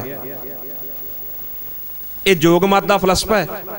ਗਿੱਲੀ ਲੱਕੜ ਨੂੰ ਘੁਣ ਲੱਗ ਗਿਆ ਇੱਥੇ ਹੀ ਨਹੀਂ। ਜੋਗ ਮਤ ਇਥੋਂ ਤੱਕ ਜਾਂਦਾ ਹੈ। ਕਹਿੰਦਾ ਪੈਸੇ ਖਰਚ ਕੇ ਵਿਆਹ ਕਰਾਇਆ, ਇਹ ਔਰਤ ਨਹੀਂ, ਇਨਸਾਨ ਨਹੀਂ, ਇਹ ਬਾਗਣ, ਨਾਗਣ, ਡੈਣ ਘਰ ਲਿਆਇਆ ਇਸ ਡੈਣ ਨੇ ਬਾਗਣ ਨੇ, ਨਾਗਣ ਨੇ ਹੁਣ ਇਹਨਾਂ ਨੂੰ ਖਾ ਜਾਣਾ ਹੈ। ਇਹ ਫਲਸਫਾ ਜੋਗ ਮਤ ਦਾ ਤੁਹਾਡੇ ਪ੍ਰਤੀ ਹੈ। ਬੁੱਧ ਧਰਮ ਦਾ ਫਲਸਫਾ ਔਰਤ ਨੂੰ ਕੋਈ ਥਾਂ ਹੀ ਨਹੀਂ। ਔਰਤ ਮੁਕਤੀ ਦੇ ਲਾਇਕ ਹੀ ਨਹੀਂ, ਹੋ ਹੀ ਨਹੀਂ ਸਕਦੀ ਇਸ ਜਨਮ 'ਚ। ਔਰਤ ਜਨਮ ਵਿੱਚ ਮੁਕਤੀ ਹੋ ਹੀ ਨਹੀਂ ਸਕਦੀ। ਇਹ ਬੁੱਧ ਧਰਮ ਦਾ ਫਲਸਫਾ ਹੈ। ਹਿੰਦੂ ਪੈਰ ਦੀ ਜੁੱਤੀ ਕਹਿੰਦਾ। ਮੰਨੋ ਸਿਮਰਤੀ ਇੱਥੋਂ ਤੱਕ ਕਹਿੰਦੀ ਹੈ ਕਿ ਔਰਤ ਨੂੰ, ਢੋਲ ਨੂੰ, ਪਸ਼ੂ ਨੂੰ, ਗਵਾਰ ਨੂੰ ਜਿੰਨਾ ਕੁੱਟੋਗੇ ਉਹਨੇ ਸੂਤਰ ਰਹਿਣਗੇ। ਇਹ ਹਿੰਦੂ ਧਰਮ ਦਾ ਫਲਸਫਾ ਹੈ। ਇਹ ਸਾਡੇ ਪੁਜਾਰੀ ਦਾ ਦਿੱਤਾ ਹੋਇਆ ਫਲਸਫਾ ਹੈ। ਜਿੰਨਾ ਕੁੱਟੋਗੇ ਉਹਨਾਂ ਸੂਤਰ ਹੈ। ਦੂਜਾ ਇਧਰੋਂ ਫਲਸਫਾ ਵੀ ਵੇਖਿਓ। ਮੈਂ ਇਹ ਨਹੀਂ ਕਹਿ ਰਿਹਾ, ਮੈਂ ਸਿੱਖ ਧਰਮ ਚ ਇਸ ਕਰਕੇ ਸਿੱਖ ਧਰਮ ਦੀ ਵਡਿਆਈ ਕਰ ਰਿਹਾ। ਤੁਸੀਂ ਬਾਕੀਆਂ ਨੂੰ ਪੜ੍ਹ ਕੇ ਫਿਰ ਆਪਣੇ ਧਰਮ ਨੂੰ ਪੜ੍ਹ ਕੇ ਦੇਖੋ। ਤੁਹਾਡਾ ਧਰਮ ਤੁਹਾਡੇ ਹੱਕ 'ਚ ਖਲੋਂਦਾ ਹੈ। ਮੈਂ ਨਾਂ ਨਹੀਂ ਲੈਂਦਾ। ਹਿੰਦੁਸਤਾਨ ਦੀ ਪ੍ਰਾਈਮ ਮਿਨਿਸਟਰ ਪ੍ਰਧਾਨ ਮੰਤਰੀ ਇੱਕ ਵੇਲੇ ਇੱਕ ਵਿਵਰਜਿਤ ਮੰਦਰ ਵਿੱਚ ਚਲੇ ਗਈ ਹੈ। ਵਿਵਰਜਿਤ ਮੰਦਰ ਜਿੱਥੇ ਇਸਤਰੀਆਂ ਦਾ ਦਾਖਲ ਹੋਣਾ ਮਨਾ ਹੈ। ਦੇਸ਼ ਦੀ ਪ੍ਰਧਾਨ ਮੰਤਰੀ, ਇਸਤਰੀ ਹੈ। ਮੰਦਰ ਵਿੱਚ ਚਲੇ ਗਈ ਤਾਕਤ ਹੈ, ਜ਼ੋਰ ਹੈ। ਧੱਕੇ ਨਾਲ ਜਾ ਵੜੀ। ਕੌਣ ਹੁੰਦੇ ਪੁਜਾਰੀ ਮੈਨੂੰ ਰੋਕਣ ਵਾਲੇ? ਜਾ ਵੜੀ, ਜਾ ਕੇ ਉਹਨੇ ਪੂਜਾ ਮਾਨਤਾ ਕੀਤੀ, ਮਜਬੂਰੀ ਵਸ ਉਹਨਾਂ ਨੇ ਜੋ ਟਿੱਕੇ ਟੁੱਕੇ ਲਾਉਣੇ ਲਾਤੇ ਚਲੇ ਗਈ। ਔਰਤ ਹੈ, ਪ੍ਰਧਾਨ ਮੰਤਰੀ ਹੈ, ਤਾਕਤ ਹੈ, ਧੱਕੇ ਨਾਲ ਚਲੇ ਗਈ। ਜਿਵੇਂ ਬਾਹਰ ਗਈ, ਪੁਜਾਰੀਆਂ ਨੇ ਸਾਜੋ ਸਮਾਨ ਇਕੱਠਾ ਕੀਤਾ, ਸਾਰਾ ਮੰਦਰ ਦੁੱਧ ਨਾਲ ਧੋਤਾ। ਪ੍ਰਧਾਨ ਮੰਤਰੀ ਹੈ, ਕਿਉਂ? ਔਰਤ ਦਾ ਦਾਖਲ ਹੋਣਾ ਮਨਾ ਸੀ, ਪਰ ਧੱਕੇ ਨਾਲ ਆ ਵੜੀ ਅਪਵਿੱਤਰ ਹੋਇਆ। ਇਹ ਸਾਡੇ ਕਾਨੂੰਨ ਦੀ ਮਰਜ਼ਾਦਾ ਦੀ ਉਲੰਘਣਾ ਹੋਈ। ਦੁੱਧ ਨਾਲ ਧੋ ਕੇ ਪਵਿੱਤਰ ਕਰ ਦਿਓ। ਇਹ ਹਾਲਾਤ ਅੱਜ ਤੱਕ ਦੇ ਹੈ ਤੁਸੀਂ ਸਾਨੂੰ ਤੇ ਸਿੱਖ ਕੌਮ ਨੂੰ ਪੜਨ ਦੀ ਆਦਤ ਹੀ ਨਹੀਂ। ਪੜਨਾ ਤੇ ਹੀ ਛੱਡਿਆ ਹੋਇਆ ਸੀ। ਜੇ ਅਸੀਂ ਪੜਨ ਵੱਲ ਧਿਆਨ ਦਈਏ ਤੇ ਆਹ ਹਾਲਾਤ ਜਿਹੜੇ ਸਾਡੇ ਬਣੇ ਇਦਾਂ ਬਣਨ। ਸਾਡਿਆਂ ਘਰਾਂ 'ਚ। ਕਲਗੀ ਜੀ ਦਾ ਪ੍ਰਕਾਸ਼ ਪੁਰਬ ਮਨਾ ਰਹੇ ਹੋ। ਜਰਾ ਕ ਆਪਣੀ ਸੁਰਤ ਨੂੰ ਉੱਚਿਆਂ ਤੇ ਕਰੋ। ਇੱਕ ਪਾਸੇ ਗੁਰੂ ਨਾਨਕ ਸਾਹਿਬ ਦੀ ਫੋਟੋ ਲਾਈ ਹੈ, ਵਿਚਕਾਰ ਲక్ష్ਮੀ ਦੀ ਫੋਟੋ ਲਾਈ। ਪਹਿਲਾਂ ਲక్ష్ਮੀ ਦਾ ਤੇ ਗੁਰੂ ਨਾਨਕ ਸਾਹਿਬ ਦਾ ਦਸਵੇਂ ਪਾਤਸ਼ਾਹ ਦਾ ਮੇਲ ਕੀ ਆਪਸ ਵਿੱਚ ਇਹਨਾਂ? ਸਿੱਖਾ ਤੂੰ ਲక్ష్ਮੀ ਦਾ ਪੁਜਾਰੀ ਕਦੋਂ ਦਾ ਹੋ ਗਿਆ? ਤੈਨੂੰ ਅਕਾਲ ਦਾ ਪੁਜਾਰੀ ਬਣਾਇਆ ਸੀ। ਪੂਜਾ, ਅਕਾਲ ਕੀ? ਪਰਚਾ, ਸ਼ਬਦ ਕਾ? ਦੀਦਾਰ? ਤੂੰ ਕਿਹਦੇ ਕਰਦਾ ਫਿਰਦਾ ਭਲਾ? ਲక్ష్ਮੀ ਦੀ ਪੂਜਾ? ਘਰਾਂ 'ਚ ਕੈਲੰਡਰ ਲੱਗੇ ਹੋਏ ਆ। ਫਿਰ ਆ ਮਾਈਆਂ ਤੇ ਹਟਦੀਆਂ ਹੀ ਨਹੀਂ। ਲੈ, ਸਾਰੇ ਇੱਕੋ ਜਿਹੇ ਹੁੰਦੇ ਆ, ਹੁੰਦੇ ਹੋਣਗੇ। ਪਰ ਗੁਰੂ ਨਾਨਕ ਸਾਹਿਬ ਇਹਨਾਂ ਦੇ ਬਰਾਬਰ ਤੇ ਨਹੀਂ ਆ ਸਕਦੇ। ਪਹਿਲਾਂ ਕਰਤੂਤਾਂ ਪੜ੍ਹ ਤੇ ਲਓ, ਜਿਨ੍ਹਾਂ ਦੇ ਬਰਾਬਰ ਖਿਲਾਰ ਰਹੇ ਹੋ। ਕਰਤੂਤਾਂ ਦੇਖੋ ਪਹਿਲਾਂ। ਇਹ ਨਹੀਂ ਕਿ ਲਿਖਿਆ ਹੋਇਆ ਨਹੀਂ, ਲਿਖਿਆ ਹੋਇਆ ਪੜ੍ਹ ਲਓ। ਫਿਰ ਕਿਉਂ ਗੁਰੂ ਨਾਨਕ ਸਾਹਿਬ ਸੱਚੇ ਪਾਤਸ਼ਾਹ ਇਹਨਾਂ ਦੇ ਬਰਾਬਰ ਹੈ। ਦਸਵੇਂ ਪਾਤਸ਼ਾਹ ਜੀ ਨੂੰ ਬਰਾਬਰ ਤੇ ਖੜਿਆਂ ਕੀਤਾ ਜਾ ਸਕਦਾ, ਫਿਰ ਫੈਸਲਾ ਕਰਿਓ। ਪਹਿਲਾਂ ਪੜ੍ਹ ਲਓ। ਪੜਨ ਦੀ ਹਿੰਮਤ ਤਾਂ ਕਰੋ। ਅੱਜ ਅਸੀਂ ਪੜ੍ਹਦੇ ਨੇ। ਮੈਂ ਬੇਨਤੀ ਕਰ ਰਿਹਾ ਸਾਂ, ਅਸੀਂ ਵਿਗੜੇ ਹੋਏ ਹਾਲਾਤਾਂ ਵਿੱਚ ਚੱਲ ਰਹੇ ਹਾਂ ਤੇ ਔਰਤਾਂ ਦੇ ਮਾਣ ਦੀ ਗੱਲ ਕਰ ਰਿਹਾ ਸੀ। ਗੁਰੂ ਨਾਨਕ ਦੇ ਘਰ ਨੇ ਤੁਹਾਡੇ ਹੱਕ 'ਚ ਆਖਿਆ। ਸੋ ਕਿਉਂ ਮੰਦਾ ਆਖੀਐ? ਜਿਤ ਜੰਮੈ ਰਜਾਨ ਅੱਜ ਫੈਸ਼ਨ ਮਗਰ ਭੱਜਦੀਆਂ ਨੇ।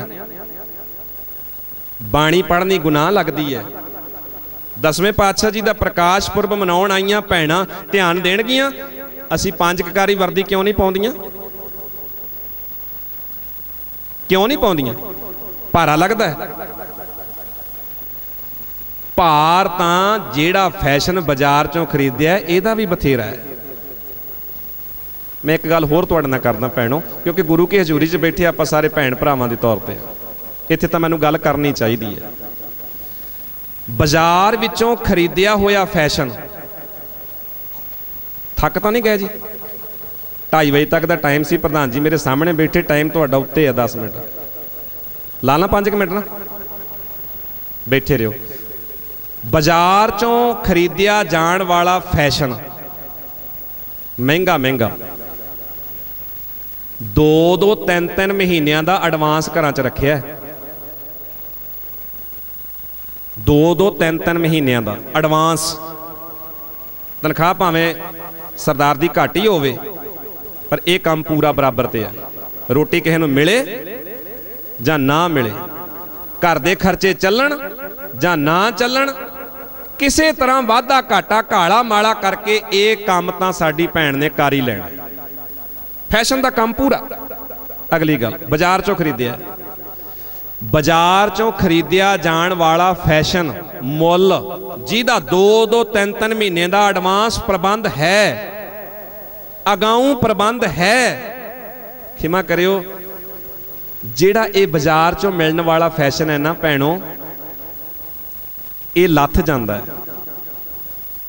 ਮਾੜੀ ਜੀ ਧੁੱਪ ਲੱਗੇ, ਫਿੱਕਾ ਪੈ ਜਾਂਦਾ ਹੈ।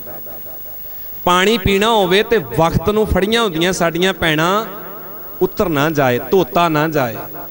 ਰਮਾਲ ਨਾ ਪੂੰਝਣ ਲੱਗਿਆਂ 100 ਖਤਰੇ, ਕੀਤਾ ਹੋਇਆ ਮਹਿੰਗਾ ਫੈਸ਼ਨ ਕਿਤੇ ਖਰਾਬ ਨਾ ਹੋ ਜਾਏ। ਅਗਲੀ ਗੱਲ, ਮਹਿੰਗਾ ਫੈਸ਼ਨ ਧੁੱਪ ਨਹੀਂ ਚੱਲਦਾ। ਤੁਹਾਨੂੰ ਕਈ ਤਰ੍ਹਾਂ ਦੀਆਂ ਪਰੇਸ਼ਾਨੀਆਂ ਵਿੱਚ ਪਾਉਂਦਾ ਹੈ। ਅਗਲੀ ਗੱਲ ਇਹ ਬਾਜ਼ਾਰ ਦਾ ਖਰੀਦਿਆ ਹੋਇਆ ਫੈਸ਼ਨ, ਬਾਜ਼ਾਰੀ ਫੈਸ਼ਨ ਸਮਾਜ ਵਿੱਚ ਚੋਰ ਪੈਦਾ ਕਰਦਾ ਹੈ, ਬੇਈਮਾਨ ਪੈਦਾ ਕਰਦਾ ਹੈ, ਬਾਜ਼ਾਰ ਦਾ ਖਰੀਦਿਆ ਹੋਇਆ ਸਮਾਨ ਕਾਤਲ ਪੈਦਾ ਕਰਦਾ ਹੈ ਇਸਤਾਂ ਦੇ ਡਾਕੂ ਪੈਦਾ ਕਰਦਾ ਹੈ, ਪਤਾ ਨਹੀਂ ਕਿੰਨਾ ਨੁਕਸਾਨ ਹੋ ਰਿਹਾ ਹੈ। ਫੈਸ਼ਨ ਕਰਕੇ ਜਾਣ ਵਾਲਿਓ, ਦੂਜਿਆਂ ਤੇ ਮਨਾਂ ਤੇ ਕੱਚਿਆਂ ਮਨਾਂ ਤੇ, ਭੈੜਿਆਂ ਮਨਾਂ ਤੇ ਕਿਹੜੇ ਕਿਹੜੇ ਅਸਰ ਤੇ ਕਿਹੜੇ ਕਿਹੜੇ ਪ੍ਰਭਾਵ ਪਏ? ਕਦੀ ਜਾਣਨ ਦੀ ਕੋਸ਼ਿਸ਼ ਕੀਤੀ ਹੈ? ਇੱਕ ਗੱਲ ਹੋਰ, ਗੁੱਸਾ ਨਾ ਕਰਿਓ। ਵੈਸੇ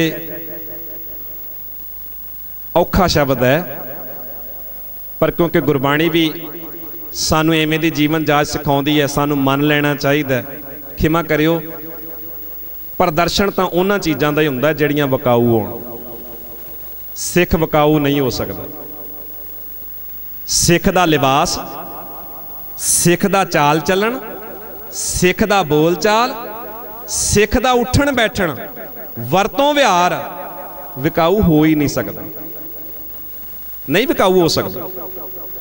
ਜਿਹੜਾ ਫੈਸ਼ਨ ਤੁਹਾਨੂੰ ਗੁਰੂ ਕਰਾਉਣਾ ਚਾਹੁੰਦਾ ਹੈ, ਜਿਹੜਾ ਫੈਸ਼ਨ ਤੁਹਾਨੂੰ ਗੁਰੂ ਕਰਾਉਣਾ ਚਾਹੁੰਦਾ ਹੈ, ਗੁਰਪੁਰਬ ਮਨਾਉਣ ਵਾਲੇ ਵੀਰੋ, ਭੈਣੋ ਗੁਰੂ ਤੁਹਾਨੂੰ ਸੋਹਣੇ ਵੇਖਣਾ ਚਾਹੁੰਦਾ ਗੰਦੇ ਨਹੀਂ। ਮਹਾਰਾਜ ਇਤਨਾ ਵੀ ਬਾਣੀ ਚ ਆਖਦੇ, ਸੇਈ, ਸੁੰਦਰ, ਸੋਹਣੇ, ਸਾਧ ਸੰਗ ਜਿਨ ਬਹਿਣੇ, ਜਿਹੜੇ ਗੁਰੂ ਦੀ ਸੰਗਤ ਚ ਬਹਿੰਦੇ ਐ, ਗੁਰੂ ਨਾਲ ਬਹਿੰਦੇ ਐ, ਉਹ ਸੋਹਣੇ ਆ, ਸੁੰਦਰ ਆ।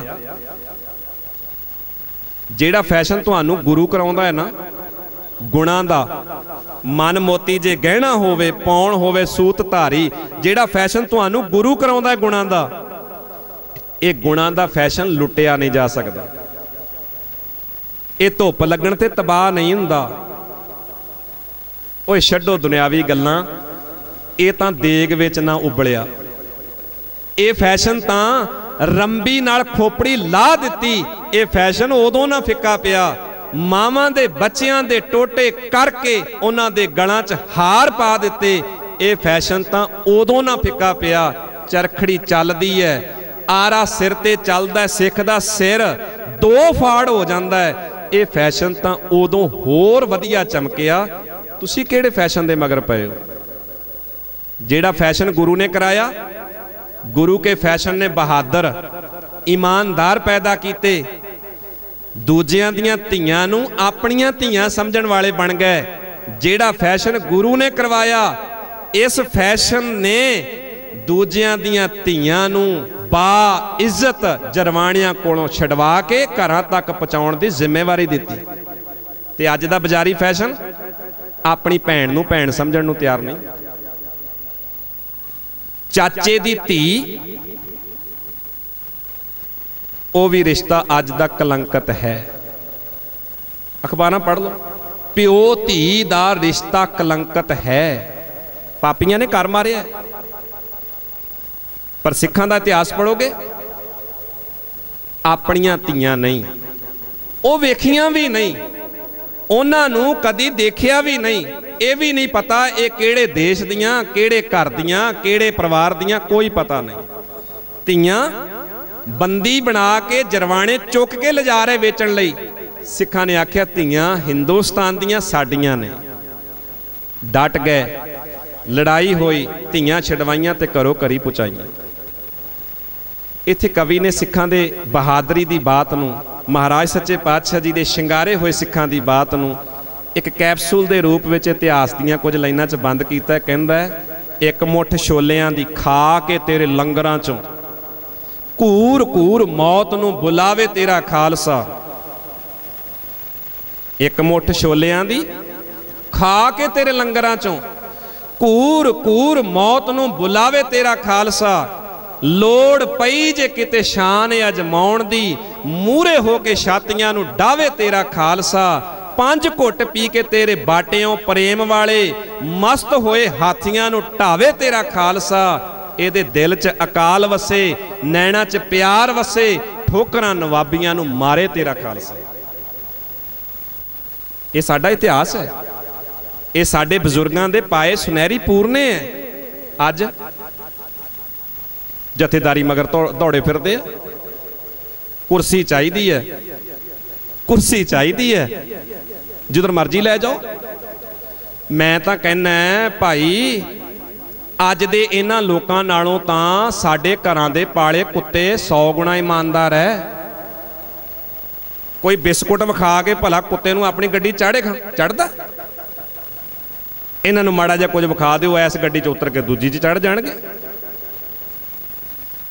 ਸਾਡੇ ਲੋਕ ਲੀਡਰ ਤਾਂ ਗਿਰਗਟ ਤੋਂ ਭੈੜੇ ਆ, ਰੰਗ ਬਦਲਣ ਲੱਗਾ, ਉਹ ਵੀ ਦੇਰ ਲਾਉਂਦਾ ਹੈ। ਇਹਨਾਂ ਦੀ ਕੋਈ ਪਤਾ ਨਹੀਂ ਦਿਨੋਂ ਰਾਤ ਚੜੇ ਕਿ ਨਾ ਚੜੇ ਜਿਹੜੀ ਪਾਰਟੀ ਜਾਣਾ, ਉਹ ਜਿਹਾ ਰੰਗ ਬੰਨ ਲਓ। ਇਹਨਾਂ ਨੇ ਪੱਗਾਂ ਨੂੰ ਵੀ ਦਾਗ ਲਾ ਦਿੱਤੇ ਆ। ਧੜਿਆਂ 'ਚ ਵੰਡ ਛੱਡੀਆਂ। ਧੰਨਵਾਦ ਹੈ ਤੁਹਾਡਾ ਤੇ ਪ੍ਰਬੰਧਕ ਕਮੇਟੀ ਦਾ। ਅੱਜ ਦਾ ਇਹ ਗੁਰਪੁਰਬ ਸਾਡੇ ਪੰਥਕ ਫੈਸਲੇ ਦੇ ਮੁਤਾਬਕ ਤੁਸੀਂ 5 ਤਰੀਕ ਨੂੰ ਮਨਾਇਆ। ਵਰਨਾ ਇਹਦੇ ਤੇ ਵੀ ਸਾਡੇ ਵੰਡੇ ਲੋਕ ਨੇ। ਕਦੀ 28 ਕਦੀ 7 ਕਦੀ 28 ਕਦੀ 7 ਅੱਧਿਆਂ ਨੂੰ ਉਹ ਹੀ ਨਹੀਂ ਸਮਝ ਲੱਗੀ। ਜਾਣ ਤੇ ਜਾਣ ਕਿਹੜੇ ਬਣੇ ਤੁਸੀਂ ਦੁਨੀਆ ਨੂੰ ਕੀ ਸੇਧ ਦਿਓਗੇ? ਤੁਹਾਡੇ ਕਿਸੇ ਬੱਚੇ ਦਾ ਗੁਰਪੁਰਬ, ਯਾਨੀ ਤੁਹਾਡੇ ਬੱਚੇ ਦਾ ਜਨਮ ਦਿਨ ਇੱਕ ਸਾਲ 'ਚ ਦੋ ਵਾਰੀ ਆਉਂਦਾ ਕਦੀ 28 ਨੂੰ ਆ ਜਾ ਕਦੀ 25 ਨੂੰ ਆ ਜਾ ਕਦੀ 7 ਨੂੰ ਆ ਜਾ ਹੁੰਦਾ ਹੈ ਤਾਂ? ਕਮਾਲ ਦੀ ਬਾਤ ਹੈ। ਸਾਡੇ ਗੁਰੂ ਸਾਹਿਬਾਨ ਦੇ ਗੁਰਪੁਰਬ ਜਿਹੜੇ ਮਰਜ਼ੀ ਫਿਕਸ ਕਰ ਦੋ, ਫਿਕਸ ਤਾਂ ਕਰ ਦਿਓ। ਪ੍ਰਸਾਦ ਸਿੱਖਾਂ ਦੀਆਂ ਰੋਟੀਆਂ ਤੇ ਪੜਦੇ ਆ, ਸਿੱਖਾਂ ਦੀਆਂ ਕੰਧਾਂ ਢਾਉਂਦੇ ਆ। ਅੱਜ ਸਾਨੂੰ ਆਪਣੇ ਇਤਿਹਾਸ ਨੂੰ, ਗੁਰਬਾਣੀ ਨੂੰ, ਸਤਿਗੁਰੂ ਸਾਹਿਬਾਨ ਦੇ ਦਿੱਤੇ ਹੋਏ ਫਲਸਫੇ ਨੂੰ ਸਮਝਣ ਦੀ ਲੋੜ ਹੈ ਪਿਆਰਿਓ, ਤਾਂ ਹੀ ਸਾਡੇ ਗੁਰਪੁਰਬ ਮਨਾਏ ਸਫਲ ਹੈ। ਭੈਣਾਂ ਨੂੰ ਬੇਨਤੀ ਕਰੂੰਗਾ, ਜੇ ਗੁਰਪੁਰਬ ਸੱਚੇ ਦਿਲੋਂ ਮਨਾਇਆ ਵਰਤ ਰੱਖਣੇ ਛੱਡ ਦਿਓ। ਵਰਤਾਂ 'ਚ ਕੋਈ ਸਚਾਈ ਨਹੀਂ, ਗੁਰਮਤ ਨਾਲੇ ਦਾ ਕੋਈ ਸਬੰਧ ਨਹੀਂ। ਛੱਡ ਦਿਓ। ਵੇਖਾ, ਵੇਖੀ, ਐਵੇਂ ਭੁੱਖ ਹੜਤਾਲ ਤੇ ਬੈਠੀਆਂ ਆ ਕਿ ਪਤੀ ਦੀ ਉਮਰ ਲੰਬੀ ਹੋ ਜਾਏ। ਪਤੀ ਦੀ ਉਮਰ ਲੰਬੀ, ਜੇ ਪਤੀ ਦੀ ਉਮਰ ਇਦਾਂ ਵਰਤ ਰੱਖਿਆ ਲੰਬੀ ਹੁੰਦੀ ਤੇ ਅੱਜ ਪੰਡਤ 5 500 ਹਜ਼ਾਰ ਹਜ਼ਾਰ ਸਾਲ ਦੇ ਬੈਠੇ ਹੋਣੇ ਸੀ। ਉਹਨਾਂ ਦੇ ਘਰ ਦੀ ਪਰੰਪਰਾ ਹੈ ਨਾ। ਰਿਆ ਤੇ ਉਹਨਾਂ ਦੇ ਘਰ ਵੀ ਕੋਈ ਨਹੀਂ। ਵਾਰੀ ਆਉਣ ਤੇ ਉਹ ਵੀ ਚਲੇ ਗਏ। ਕੋਈ ਪੰਡਤ 500 ਸਾਲ ਦਾ, ਹਜ਼ਾਰ ਸਾਲ ਦਾ ਬੈਠਾ ਦੱਸੋ। ਤੇ ਜੇ ਪੰਡਤਾਣੀਆਂ ਦੇ ਵਰਤ ਰੱਖਣ ਨਾਲ ਪੰਡਤ ਮਾਰੀ ਗਏ ਹੈ ਤੇ ਅਸੀਂ ਕਿਹੜੀ ਪਰੰਪਰਾ ਪਰਾਉਣੀ ਚਾਹੁੰਦੇ ਆ ਨਾਲੇ ਤੁਹਾਨੂੰ ਤੁਹਾਡਾ ਗੁਰੂ ਆਗਿਆ ਨਹੀਂ ਦਿੰਦਾ, ਵਰਤਾਂ ਵਾਲਾ ਖੇੜਾ ਛੱਡ ਦਿਓ। ਘਰਾਂ 'ਚ ਵਹਿਮ ਭਰਮ ਨਾ ਕਰਿਆ ਕਰੋ। ਹੱਥ ਜੋੜ ਕੇ ਬੇਨਤੀ, ਠੇਕੇ ਤੇ ਕੰਮ ਨਾ ਦਿਆ ਕਰੋ। ਪਾਠ ਆਪ ਕਰਨ ਦੀ ਆਦਤ ਬਣਾਓ। ਥੋੜਾ ਕਰ ਲਓ। ਥੋੜਾ ਕਰ ਲਓ। ਆਪ ਕਰੋ। ਗੁਰਦੁਆਰਾ ਸਾਹਿਬ ਵਿੱਚ ਬਹਿ ਕੇ ਕਰ ਲਓ। ਆਪ ਕਰੋ। ਜਿਹੜਾ ਪਾਠ ਕਰਦੇ ਹੋ, ਉਸ ਪਾਠ ਨੂੰ ਸਮਝਣ ਦੀ ਵੀ ਅਤ ਲੋੜ ਹੈ ਕਿ ਗੁਰੂ ਸਾਹਿਬ ਸਾਨੂੰ ਕਹਿੰਦੇ ਕੀ ਹੈ, ਸਮਝਾਉਂਦੇ ਕੀ ਹੈ। ਜਿਹੜੀਆਂ ਗੱਲਾਂ ਗੁਰੂ ਸਾਹਿਬ ਕਰਨ ਲਈ ਕਹਿੰਦੇ ਆ, ਉਹ ਸਾਨੂੰ ਕਰਨੀਆਂ ਚਾਹੀਦੀਆਂ। ਜਿਹੜੀਆਂ ਗੁਰੂ ਸਾਹਿਬ ਮਨਾ ਕਰਦੇ ਆ, ਸਾਨੂੰ ਇੱਕ ਮਿੰਟ ਵਿੱਚ ਫੈਸਲਾ ਲੈਣਾ ਚਾਹੀਦਾ। ਜੇ ਗੁਰੂ ਨੇ ਕਿਹਾ ਇਹ ਕੰਮ ਨਹੀਂ ਕਰਨਾ, ਤਾਂ ਸਿੱਖ ਨੇ ਨਹੀਂ ਕਰਨਾ। ਗੁਰ ਕਹਿਆ, ਸਾਕਾਰ ਕਮਾਵੋ, ਗੁਰ ਕੀ ਕਰਨੀ? ਕਾਹੇ ਧਾਵੋ। ਸਤਿਗੁਰੂ ਕਿਰਪਾ ਕਰਨ, ਰਹਿਮਤ ਕਰਨ।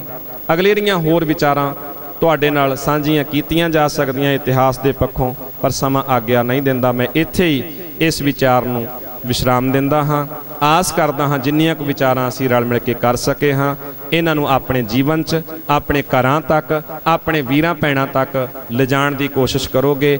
ਔਰ ਜਿਹੜੀ ਮਨਮਤ ਸਾਡੇ ਆਲੇ ਦੁਆਲੇ ਘੇਰਾ ਘੱਤਰੀ ਹੈ, ਘੇਰਾ ਪਾ ਰਹੀ ਹੈ ਇਸ ਮਨਮਤ ਦੇ ਘੇਰੇ ਨੂੰ ਅਸੀਂ ਤੋੜਨਾ ਹੈ ਤੇ ਗੁਰਮਤ ਦਾ ਪ੍ਰਕਾਸ਼ ਅਸੀਂ ਆਪਣਿਆਂ ਘਰਾਂ 'ਚ, ਆਪਣੇ ਆਲੇ ਦੁਆਲੇ 'ਚ ਕਰਨਾ ਹੈ। ਸਰਬੱਤ ਸੰਗਤ ਦਾ, ਪ੍ਰਬੰਧਕ ਵੀਰਾਂ ਦਾ, ਗੁਰਦੁਆਰਾ ਸਾਹਿਬ ਦੇ ਭਾਈ ਸਾਹਿਬ ਜੀ ਦਾ ਸਾਰਿਆਂ ਦਾ ਮੈਂ ਤਹਿ ਦਿਲੋਂ ਧੰਨਵਾਦ ਕਰਦਾ ਜੋ ਤੁਸੀਂ ਬੜੇ ਪਿਆਰ ਨਾਲ, ਸਤਿਕਾਰ ਨਾਲ ਸਤਿਗੁਰਾਂ ਦੇ ਪ੍ਰਕਾਸ਼ ਪੁਰਬ ਨੂੰ ਮਨਾਉਂਦਿਆਂ ਹੋਇਆਂ ਇਹ ਸਾਰੇ ਗੁਰਦੁਆਰਾ ਸਾਹਿਬ ਦੀ ਮਰਜ਼ਾਦਾ ਦੇ ਵਿੱਚ ਬੜੇ ਪਿਆਰ ਨਾਲ, ਇਕਾਗਰਤਾ ਨਾਲ ਹਿੱਸਾ ਲਿਆ ਹੈ।